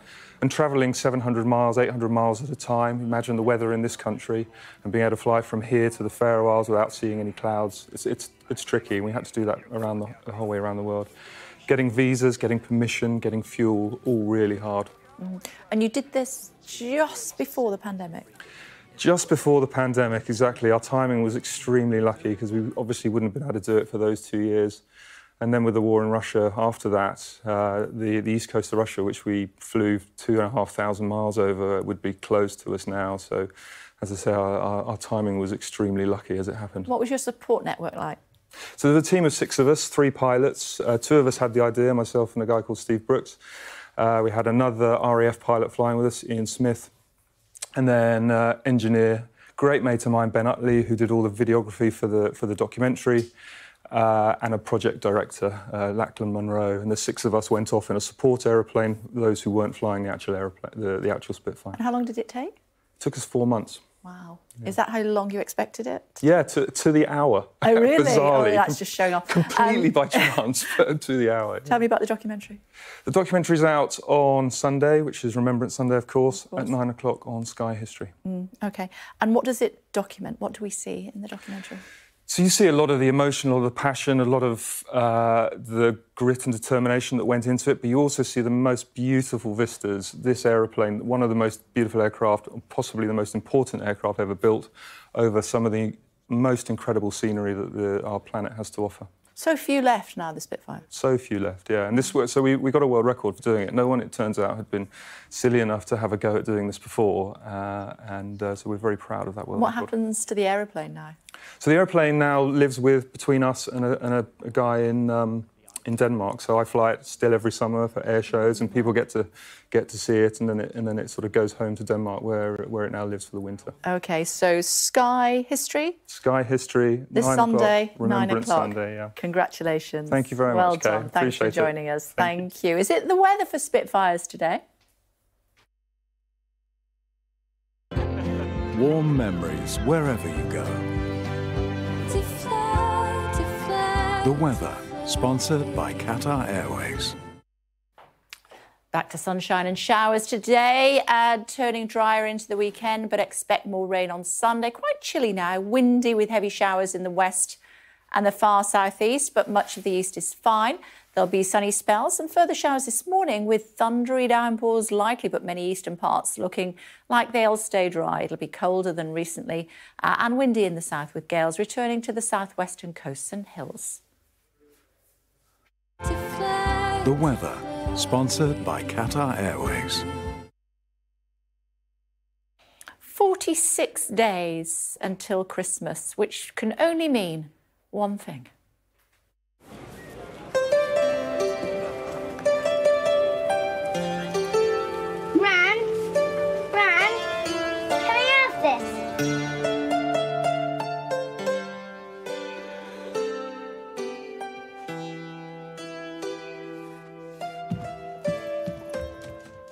Venus flytrap. That's a stretch, isn't it? The highly anticipated ad features a soundtrack by the Italian singer Andrea Botticelli, um, and it's, of course, a tearjerker. La vita è una festa.